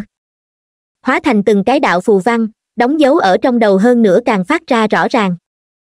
Này bất quá chỉ là một vò rượu, vì sao lại như thế đây? Để cho hắn thấy được đạo ngân tích, hơn nữa còn không chỉ một cái. Tự hồ là vô số đạo chất đống mà thành. Hắn bắt chước phật kinh trải qua rồi vạn cổ vết tích, thấy được từng cái nói ra sinh diễn biến thành trưởng, thậm chí còn cuối cùng tan rã. Thần hồn liên đới căn nguyên đều tại khẽ run. Phản phất là thiên địa trừ ra tuyên cổ mênh mông khí tức.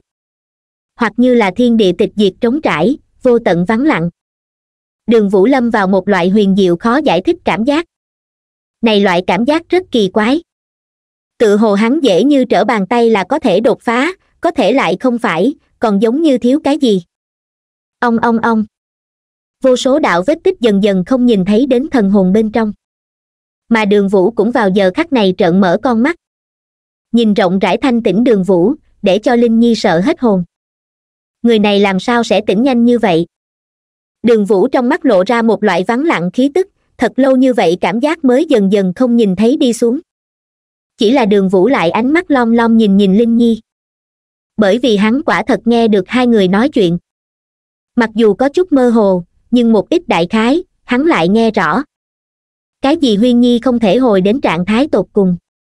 Còn có huyên nhi thật giống như đang chịu đựng thống khổ gì?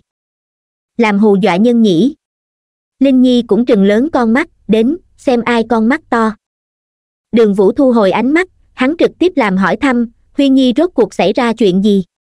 Đang chịu đựng thống khổ gì? Nguy rồi. Người này không phải là nghe được chứ? Không thể nào nha. Hắn uống như vậy rượu, mặc dù chỉ là nửa vò, nhưng đủ để để cho hắn hoàn toàn say đi xuống, lâm vào đạo dao đang dệt vết tích chi bên trong. Linh nhi ngẩn ra, ngược lại gãi đầu hì hì nở nụ cười, ngươi đang ở đây nói cái gì huyên nhi? Nha ngươi nói nàng có khả năng hay không đang chịu đựng thống khổ gì nhỉ? Ta không biết rõ, đang nói chính là chịu đựng thống khổ gì cũng xứng đáng, ta phải vỗ tay khen hay.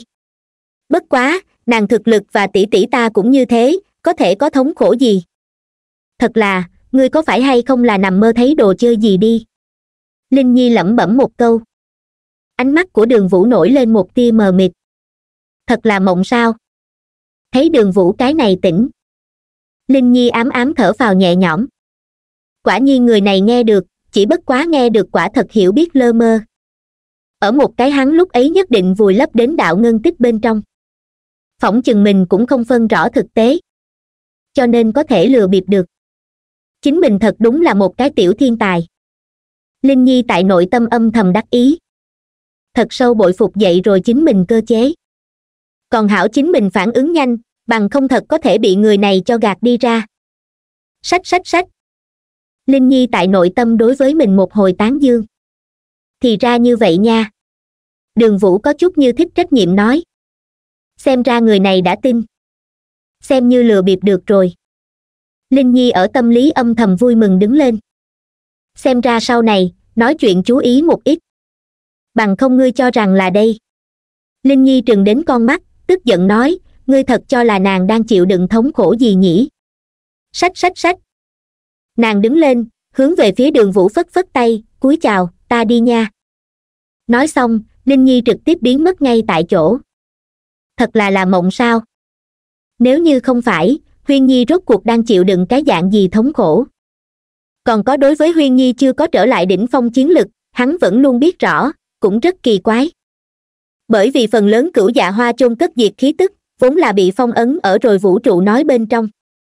Cũng là bởi vì như thế, tạo cho hắc ám nhất tộc. Sau đó chôn cất diệt khí tức hoàn toàn bạo phát ra. Đường vũ lúc ấy trở về vũ trụ đạo nội. Đem sở hữu chôn cất diệt khí tức lần nữa phong ấn đứng lên.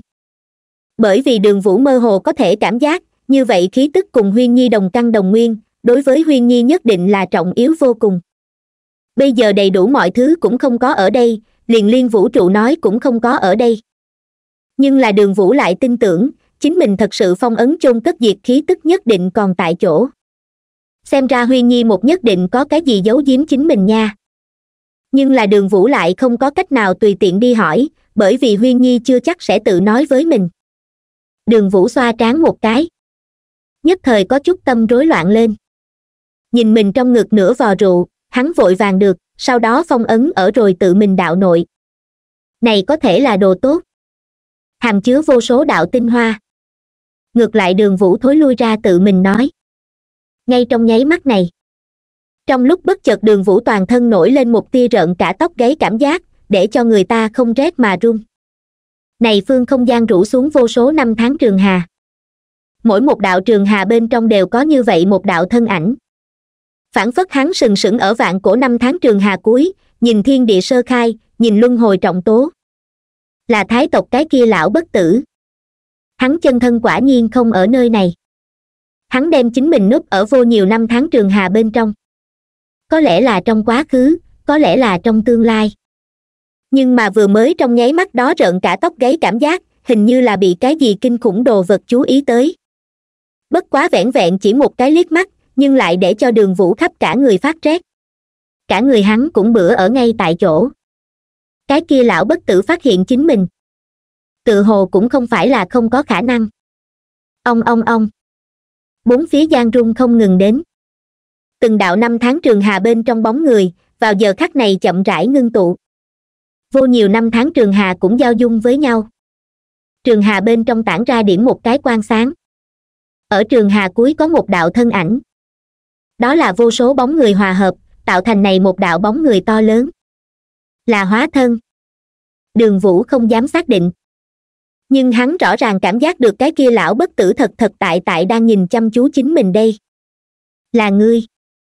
Thanh âm từ năm tháng trường hà bên trong đánh tới.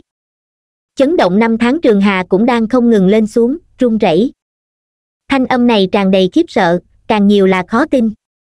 Giờ khắc này đường vũ sửng sốt một chút mới phản ứng lại. Tiến vào tự mình nói bên trong uống nhiều rồi.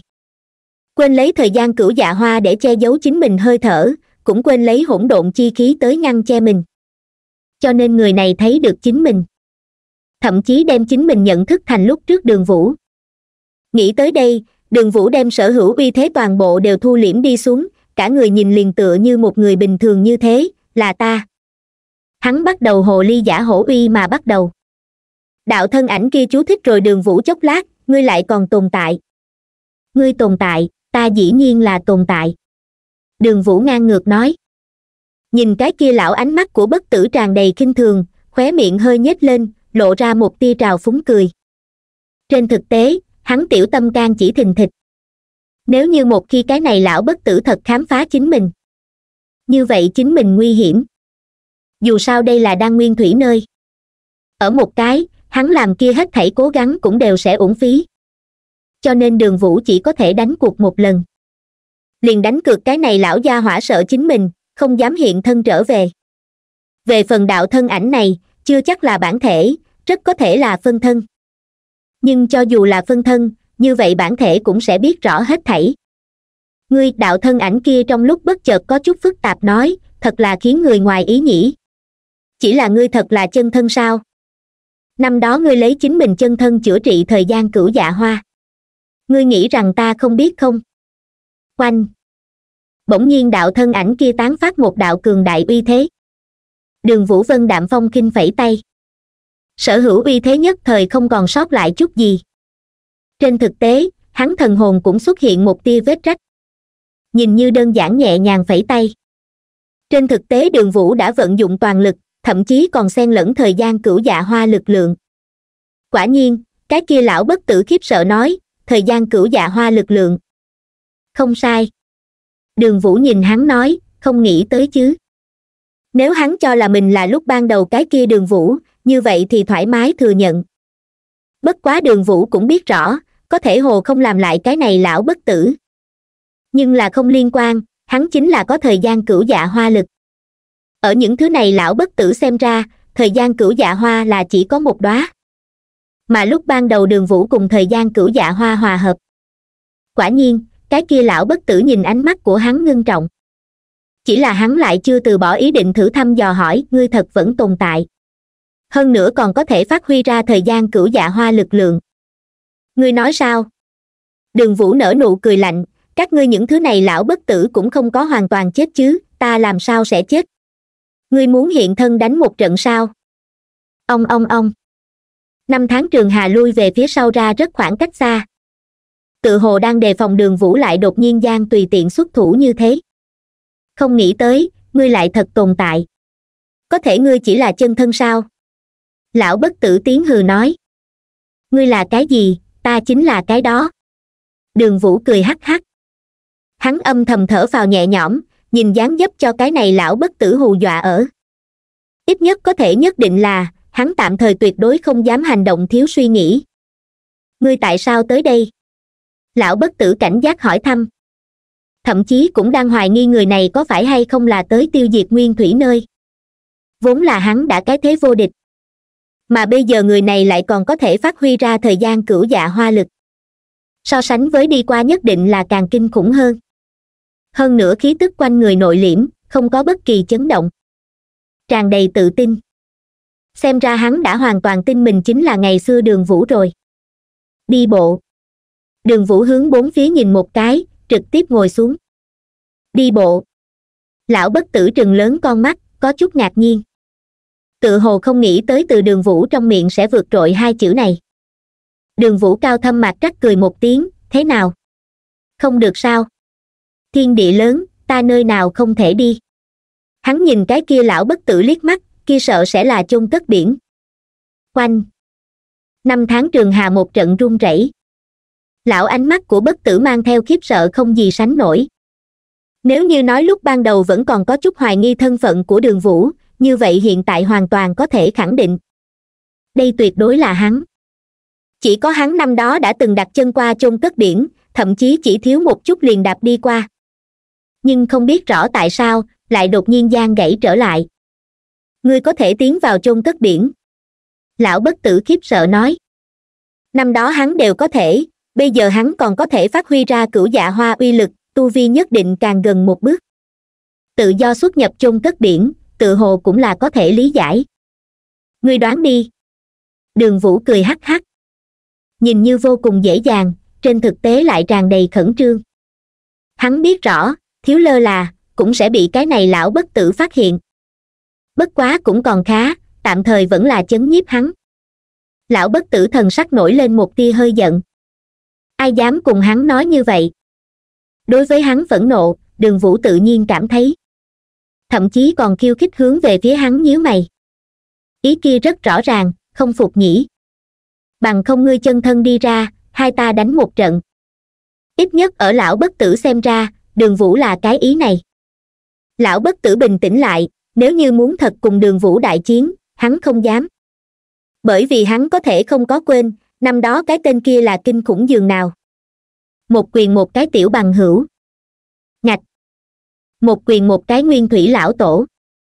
Nếu như không phải cuối cùng hắn phát hiện thời gian cửu dạ hoa không chịu nổi với nhau đại chiến uy thế, chỉnh không tốt cũng phải đưa bọn họ làm thịt rồi. Cho dù là bây giờ nghĩ lại vẫn như cũ có sợ hãi. Nhiều năm trước ngươi liền có thể tiến vào chôn cất biển rồi, bây giờ thực lực của ngươi chắc hẳn càng hơn năm xưa, cho nên ngươi có thể đủ tự do xuất nhập chôn cất biển, cũng không có cái gì kỳ quái. Lão bất tử nói. Không vào được, không cách nào chân chính tiến vào chôn cất biển. Đường vũ thần sắc trong lúc bất chợt đau thương đi bộ đứng lên, thậm chí còn có nhiều chút vô lực. Lão bất tử ngẩn ra, nhìn về phía đường vũ, ngươi nói lấy ngươi bây giờ thực lực đều không cách nào hoàn toàn tiến vào chôn cất trong nước sao? Đường vũ cao thâm mặt trắc vừa nói, ta không cách nào đến gần chôn cất biển chỗ sâu nhất, không cách nào tiến vào trong đó. Nhìn cái này lão bất tử bị chính mình lắc lư sửng sốt một chút. Năm tháng trường hà rung không ngừng đến. Lão bất tử sừng sững ở năm tháng trường hà trên. Từ năm tháng trường hà lay động, tự nhiên có thể thấy ra cái này lão nội tâm của bất tử tuyệt đối không bình tĩnh chôn cất biển rốt cuộc có, lão bất tử đột nhiên có chút hiếu kỳ vấn đáp. Đầu ngươi có bệnh nhỉ? Đường vũ trực tiếp mắng tới. Lão bất tử ngẩn ra, chỉ nghe đường vũ tiếp tục nói, ta nói hết rồi, không cách nào đến gần trung tâm địa phương, ngươi nghe không hiểu làm sao giọt. Ngươi thực không ăn khô dầu. Ai dám, như vậy mắng nguyên thủy nơi lão bất tử. Đường vũ liền dám. Hơn nữa nhìn đi ra, lão bất tử đang cố nén tức giận, cũng không dám phát tác bởi vì lão bất tử biết rõ. Người này nhìn cũng không phải chân thân. Nhưng ngay cả như vậy, tự hồ cũng không phải mình cái này hóa thân thật sự có thể đối phó. Ở một cái, vạn nhất thật sự đem hắn chọc giận, hắn chân thân xuất hiện, như vậy rất có thể tạo thành khó có thể tưởng tượng hậu quả. Một phen cân nhắc bên dưới, lão bất tử nói, ngươi nói đúng, là ta bỏ quên. Nhìn một chút. Cái gì gọi là bản lĩnh đường vũ cho là mình đây chính là năng lực. Chỉ lão bất tử mũi mắng. Nó còn không dám được nước. Có thể ngươi cho là chôn cất biển rốt cuộc lạc lão bất tử tiếp tục hỏi. Đường vũ nhìn hắn, khóe miệng nổi lên một tia khinh thường cười, trong mắt tràn đầy đùa cợt. Ánh mắt như vậy, để cho lão bất tử chớ có chút tức giận danh, bất quá hắn vẫn cố nén nói, tại sao nhìn ta? Ta nói hết rồi, không có đến gần trung tâm, không có đến gần trung tâm ngươi nghe không hiểu sao? Đường vũ châm chọc nói. Ngươi, lão con mắt của bất tử trừng một cái, rất muốn trống to một câu, ta liều mạng với ngươi. Nhưng mà nghĩ đến đây người kinh khủng. Hay lại là cố đè xuống rồi lửa giận. Hắn hừ một tiếng, ta tự nhiên biết lệnh rõ ngươi không có đến gần trung tâm, ta hỏi là ngươi cho là chôn cất biển là một nơi như thế nào địa phương. Đường vũ bật cười một tiếng, ngươi đang nằm mơ sao? Ừ lão bất tử có chút mộng bức.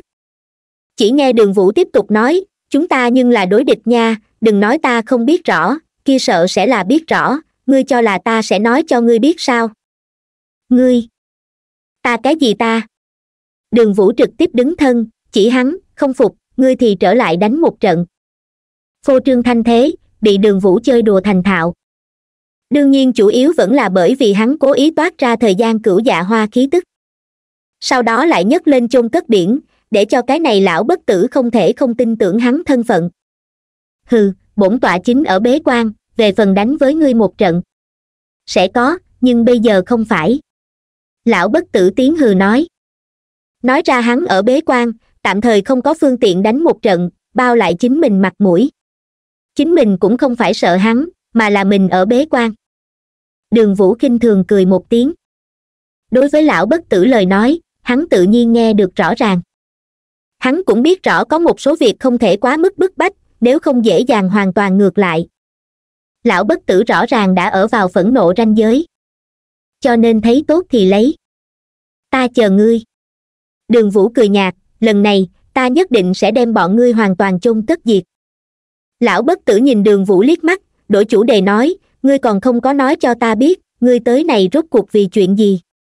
Đi bộ ngươi nghĩ rằng ta sẽ tin. Ngươi không tin ta cũng không có cách nào. Đường vũ nhún vai một cái, bằng không ngươi liền đi ra đánh một trận. Lão không chết chắc nhưng không sẽ tin tưởng đường vũ thật sự nói cái gì đi bộ. Hắn tới đây nhất định là có cái gì mục đích. Nhưng lão bất tử còn không biết rõ. Hừ. Chờ ta xuất quan ngày. Chính là ngươi tiêu diệt lúc. Lão bất tử mạnh miệng nói. Đối với cái này cá nhân hắn là xuất phát từ nội tâm sợ hãi. Chính mình nhiều năm như vậy mặc dù có chút lớn lên. Nhưng hắn bây giờ có thể dễ như trở bàn tay phát huy ra thời gian cửu dạ hoa lực lượng. Đủ để chứng minh, hắn tiến bộ so với chính mình là lớn hơn. Ta chờ ngươi. Đường vũ tự tin cười một tiếng, đúng rồi, ngươi nói cho còn lại những thứ kia lão bất tử, liền nói ta đã trở về. Nếu như những thứ kia lão bất tử biết rõ, hắn không có chết, phỏng chừng sẽ rất sợ đi này đối với bọn hắn vô hình trung cũng là một loại chấn nhiếp. Đường vũ ý vị thâm trường nhìn hắn một cái. Nhất thời lão bất tử máy động đột. Hắn thậm chí cũng hoài nghi đường vũ có phải hay không là muốn động thủ nhỉ? Nhớ ta lời nói nói cho bọn hắn biết, ta đã trở về. Đường vũ cười hắc hắc, chỉ là thanh âm lại có chút lạnh đi xuống, không thể nói ta lúc nào tâm tình không tốt, sẽ tới làm thịt một cái hai cái. Dĩ nhiên, cũng bao gồm ngươi ngươi nghĩ rằng ta sẽ tìm không được ngươi chân thân sao? Nếu như không tin ngươi có thể thử một lần. Lão bất tử sừng sững ở năm tháng trường hà trên, cao ngạo ngước đầu, khe khẽ hừ một tiếng, duy trì chính mình phong độ. Trên thực tế nội tâm nghĩ là, có muốn hay không ở cách xa thực tế một chút khoảng cách đây? Tối thiểu chính mình an toàn cũng là một phần bảo đảm. Bất quá người này không chết. Đây quả thật là được thông báo còn lại những thứ kia lão bất tử một tiếng xem bọn hắn làm thế nào chứ. Đường vũ rất là lễ phép hướng về phía lão bất tử phất phất tay, đi nha. Nhưng mà đi ra hai bước, đường vũ trong lúc bất chợt quay đầu, hướng về phía lão bất tử cười một tiếng, chờ ta lúc nào buồn chán, ta sẽ đến tìm ngươi nói chuyện phiếm nhất thời lão bất tử ngẩn ra. Cửu dạ hoa lực lượng. Người này lại có thể vận dụng cửu dạ hoa lực lượng. Xem ra hắn rất có thể là cùng cửu dạ hoa hòa làm một thể lão bất tử trong lúc bất chợt trầm tư. Một lát sau, này phương bên trong không gian, ảm đạm xuống, lần nữa biến thành lúc ban đầu như vậy sâu thẳm hắc ám. Rời đi phe kia không gian. Đường vũ âm thầm thở vào nhẹ nhõm, ngược lại trực tiếp xông vào tự mình nói bên trong, trên khẽ một tiếng. Lão bất tử thật là đáng sợ. Bất quá chỉ là uy thế uy áp, liền đem chính mình bị thương nặng. Cũng còn khá cái kia lão bất tử bị chính mình chấn nhiếp không có xuất thủ lần nữa, nếu không hậu quả khó mà lường được. Có thể tỉ mỉ nghĩ lại, tự hồ có không phải là không có chỗ tốt. Lão bất tử cũng cho là mình là hắn. Tin tưởng toàn bộ nguyên thủy nơi lão bất tử cũng sẽ biết rõ, cũng sẽ biết rõ hắn không có chết. Đối với những thứ kia lão không chết đi nói, tuyệt đối là một cái chấn nhiếp. Ông ông ông. Thời gian cửu dạ hoa bay tới cửu dạ hoa vừa muốn đem lực lượng rót vào rồi đường vũ trong cơ thể, muốn ở hắn chữa thương. Tuy nhiên lại bị đường vũ cự tuyệt. Bây giờ có thể thiếu vận dụng cửu dạ hoa lực lượng thì ít vận dụng. Ở một cái, theo mỗi lần vận dụng thời gian cửu dạ hoa, trên người mình cửu dạ hoa khí tức sẽ nồng nặc một ít. Cho nên vẫn là dựa vào bản thân pháp lực chữa thương, đây mới là tốt nhất. Đương nhiên, tuyệt đối không có cửu dạ hoa lực lượng thấy hiệu quả nhanh thật đúng là đáng sợ. Đường vũ cười khổ một cái. Mặc dù sớm đã biết những thứ này lão bất tử đáng sợ.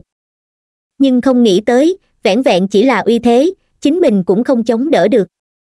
Cũng còn khá cái kia lão bất tử đối với chính mình chỉ là một dò xét, cũng không có ra tay toàn lực. Đường vũ có chút vui mừng đứng lên. Nhưng nghĩ đến chính mình chỉ lão bất tử mũi mắng một trận, đường vũ liền cho là mình thương thế là phi thường đáng giá bất quá đường vũ vẫn còn có chút hối hận. Sớm biết rõ lão bất tử không dám trở mặt, lúc ấy mắng thêm hắn mấy câu vậy đúng rồi. Đường vũ cười hắc hắc, cảm giác vẫn là rất thỏa mãn. Ai dám, như vậy nhục mạ những thứ kia lão bất tử, chính mình liền dám. Ngược lại ở tự mình đạo nội bắt đầu chữa thương. Nhưng mà bây giờ nguyên thủy nơi, nhưng có chút chấn động. Vốn là thái tộc cùng lân tộc không chết không thôi cục diện, lại bắt tay giảng hòa rồi thậm chí còn kết thành đồng minh. Xem ra ở lân tộc phía sau người kia quả nhiên không đơn giản nha. Nhất thời một ít tộc trưởng đều bắt đầu trầm tư. Quả nhiên không đơn giản. Nghiêm tộc tộc trưởng trong lúc bất chợt cười, xem ra người này tính toán quá to lớn nha, ta ta phỏng chừng nguyên thủy nơi là không thể yên tĩnh. Chắc hẳn không bao lâu, bọn họ sẽ lần nữa đối tộc khác động thủ. Vừa nói hắn hừ một tiếng, chỉ cần không đúng ta nghiêm tộc động thủ liền có thể, nếu không hắn hắc hắc cười lạnh hai tiếng. Kia sợ sẽ là lân tộc cùng thái tộc liên thủ, bọn họ nghiêm tộc cũng là không sợ. Thậm chí hắn còn đang mong đợi nguyên thủy nơi vội vàng hỗn loạn lên. Chỉ có rối loạn mới có cơ hội. Càng không chưa định, ta ngươi đều là hắc mã. Càng không đã định, ta ngươi đều là ngưu mã. Cũng tỷ như bây giờ như thế, cao cao tại thượng mười đại chủng tộc, đó là không người nào có thể rung chuyển. Muốn hám động đến bọn hắn chỉ có chiến loạn. Nếu không nghiêm tộc này một ít tiểu tộc, mãi mãi cũng bị bọn họ chèn ép.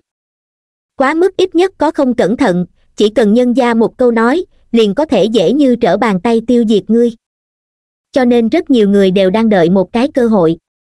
Mà bây giờ cơ hội này tự hồ tới. Lúc này, thái bên trong tộc, một mảnh yên lặng. Thái minh chết, bọn họ và lân tộc liên thủ mặc dù biết rõ chỉ có như vậy, mới có thể sống được, nhưng đối với một số người mà nói cũng vẫn như cũ khó mà tiếp nhận. Đại trưởng lão an ổn nói nói, mọi người không cần bi quan, có lẽ đây cũng là chúng ta một cái cơ hội. Tất cả mọi người hướng hắn nhìn lại. Chỉ nghe đại trưởng lão tiếp tục nói, các ngươi cho là vị tiền bối kia tu vi như thế nào? Lão tổ không ra, không người là đối thủ của hắn. Một cái cung phụng nói này cũng là bọn hắn thật sự công nhận. Bởi vì vị tiền bối kia tu vi quả thật rất đáng sợ. Dễ như trở bàn tay tiêu diệt thái minh thần hồn và tập nguyên, hơn nữa không có thương tổn cùng hắn nhục thân phân hào. Vị tiền bối kia nhất định là đang mưu tính đến cái gì? Đại trưởng lão tiếp tục nói, mà lân tộc chính là hết thảy bắt đầu, bây giờ chúng ta nhìn như cùng lân tộc ở liên thủ, nhưng phía sau chỗ ỷ lại vẫn như của vị tiền bối kia. Hơn nữa chư vị cũng nhìn ra những năm gần đây, chúng ta thái tộc đã thuộc về bấp bên bên trong rồi, đừng bảo là ở tiến một bước rồi, thiếu lơ là, thậm chí chúng ta đều sẽ có này diệt tộc nguy hiểm. Nhưng bây giờ có vị tiền bối kia ở sau lưng chấn nhiếp, chúng ta thái tộc có thể nói tạm thời vẫn là an toàn, tối thiểu cũng là hắn tộc thật sự không dám trêu chọc. Dù sao bọn họ cũng đang e sợ vị tiền bối kia. Lân tộc, ngự tộc, thái tộc. Có thể nói đều tại vị tiền bối kia nắm trong bàn tay rồi ngự tộc. Mặc dù tương phi yến là kim bằng vị hôn thê, có thể tương phi yến muốn leo lên chức tộc trưởng, căn bản không phải đơn giản như vậy. Ở một cái, ngự tộc vị kia lão bất tử nhưng là bên trong đều tại nha không lâu trước đây tương lừa lúc chết sau khi, cái tên kia còn xuất đầu lộ diện cơ chứ. Có này một vị lão bất tử trấn giữ chủng tộc là hoàn toàn không bất đồng. Ngự tộc cũng trong tay hắn sao? Tam cung phụng thử thăm dò hỏi dò. Không biết đại trưởng lão nói, cụ thể tiền bối có hay không đưa tay đưa tới ngự tộc, chúng ta còn không biết rõ, nhưng ta nghe thấy không lâu trước đây, kim bằng nhưng là đi đến rồi ngự tộc tiến hành viếng thăm. Hơn nữa ngoài sáng trong tối, tự hồ cũng ở nói cho mọi người, hắn ủng hộ tương phi yến làm ngự tộc tộc trưởng. Vừa nói, đại trưởng lão nở nụ cười, bây giờ chúng ta cũng cần ủng hộ tương phi yến. Nếu lân tộc đã ủng hộ tương phi yến, như vậy làm sao ít rồi bọn họ thái tộc đây? Chỉ cần tương phi yến lên làm ngự tộc tộc trưởng. Như vậy cũng coi là với nhau liên hợp lại cùng nhau. Đến thời điểm, thái tộc, lân tộc, ngự tộc, tam tộc liên hiệp của lực lượng này đã không giống vật thường rồi. Thậm chí kia sợ sẽ là mười đại chủng tộc, cũng cũng không phải không được đánh một trận. Đương nhiên, bọn họ cuối cùng chỗ dựa vẫn như cũ đường vũ. Nhưng nếu như ngự tộc đi vào, như vậy cũng không giống nhau, còn nhiều hơn một cái lão bất tử xem ai dám treo hoàn toàn có thể ở nguyên thủy nơi không có kiên kỵ gì cả rồi.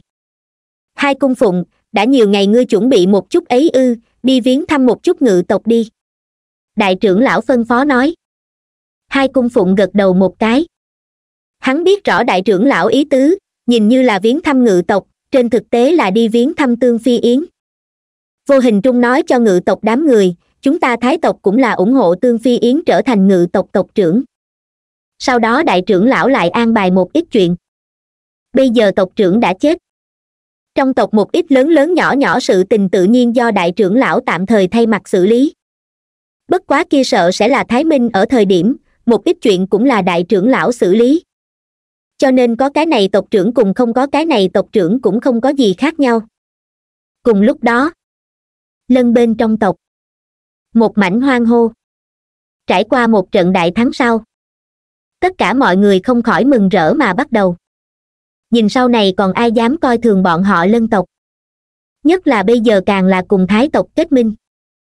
Thực ra thái tộc vào lúc này, cũng chính là thái minh sau khi chết, lựa chọn kết minh, vô hình trung cũng đã nhượng bộ. Trải qua sau chuyện này, kim bằng uy nghiêm nâng cao một bước. Vốn là kim bằng đảm nhiệm tộc trưởng, ít nhiều gì vẫn còn có chút thanh âm phản đối, bây giờ những thứ kia thanh âm phản đối hết thảy cũng không có đương nhiên, cũng không dám có. Nhân gia phía sau nhưng là có chỗ dựa. Lân bên trong tộc xếp đặt tiệc rượu. Toàn bộ bên trong tộc đều tràn đầy tiếng hoang hô âm. Mà kim bằng lại có vẻ hơi tâm sự nặng nề. Bởi vì hắn lúc ấy chỉ huy người đi hướng thái tộc, quả thật muốn đem thái tộc tiêu diệt. Không nghĩ tới, thái tộc lại chủ động lựa chọn thần phục. Đương nhiên kim bằng lòng biết rõ, hết thảy các thứ này cũng là bởi vì đường vũ bọn họ quá mức sợ đường vũ thực lực. Thế nào? Nhìn ngươi có chút không vui đây. Kim mạc nhìn kim bằng nói. Tỷ, ta chỉ là có chút lo lắng. Đối mặt đến này vị tỷ tỷ, kim bằng đương nhiên sẽ không có này bất kỳ dấu giếm nào. Kim mạc khẽ cười một cái, đang lo lắng vị tiền bối kia kế hoạch, cũng lo lắng ở tiếp tục như thế, chúng ta lân tộc sẽ trở thành trong mắt người khác đinh gai trong thịt. Kim bằng gật đầu một cái lần này mặc dù để cho thái tộc thần phục, nhìn như hai tộc kết minh. Nhưng là một số người khó tránh khỏi sẽ thêm nghĩ, không thể chối, bây giờ hai tộc kết minh, đúng là một cổ không nhỏ thực lực, nhưng ngay cả như vậy, cùng một ít đại tộc vẫn như cũ không cách nào so sánh. Ở tiếp tục như thế, ta sợ hãi để cho bọn họ đối địch bên trên. Ngươi nha, chính là nghĩ quá nhiều. Kim mạc nhẹ nhàng nói, có này vị tiền bối kia, ngươi sợ nếu thấy hay thì đừng quên like và đăng ký kênh để ủng hộ mình nha.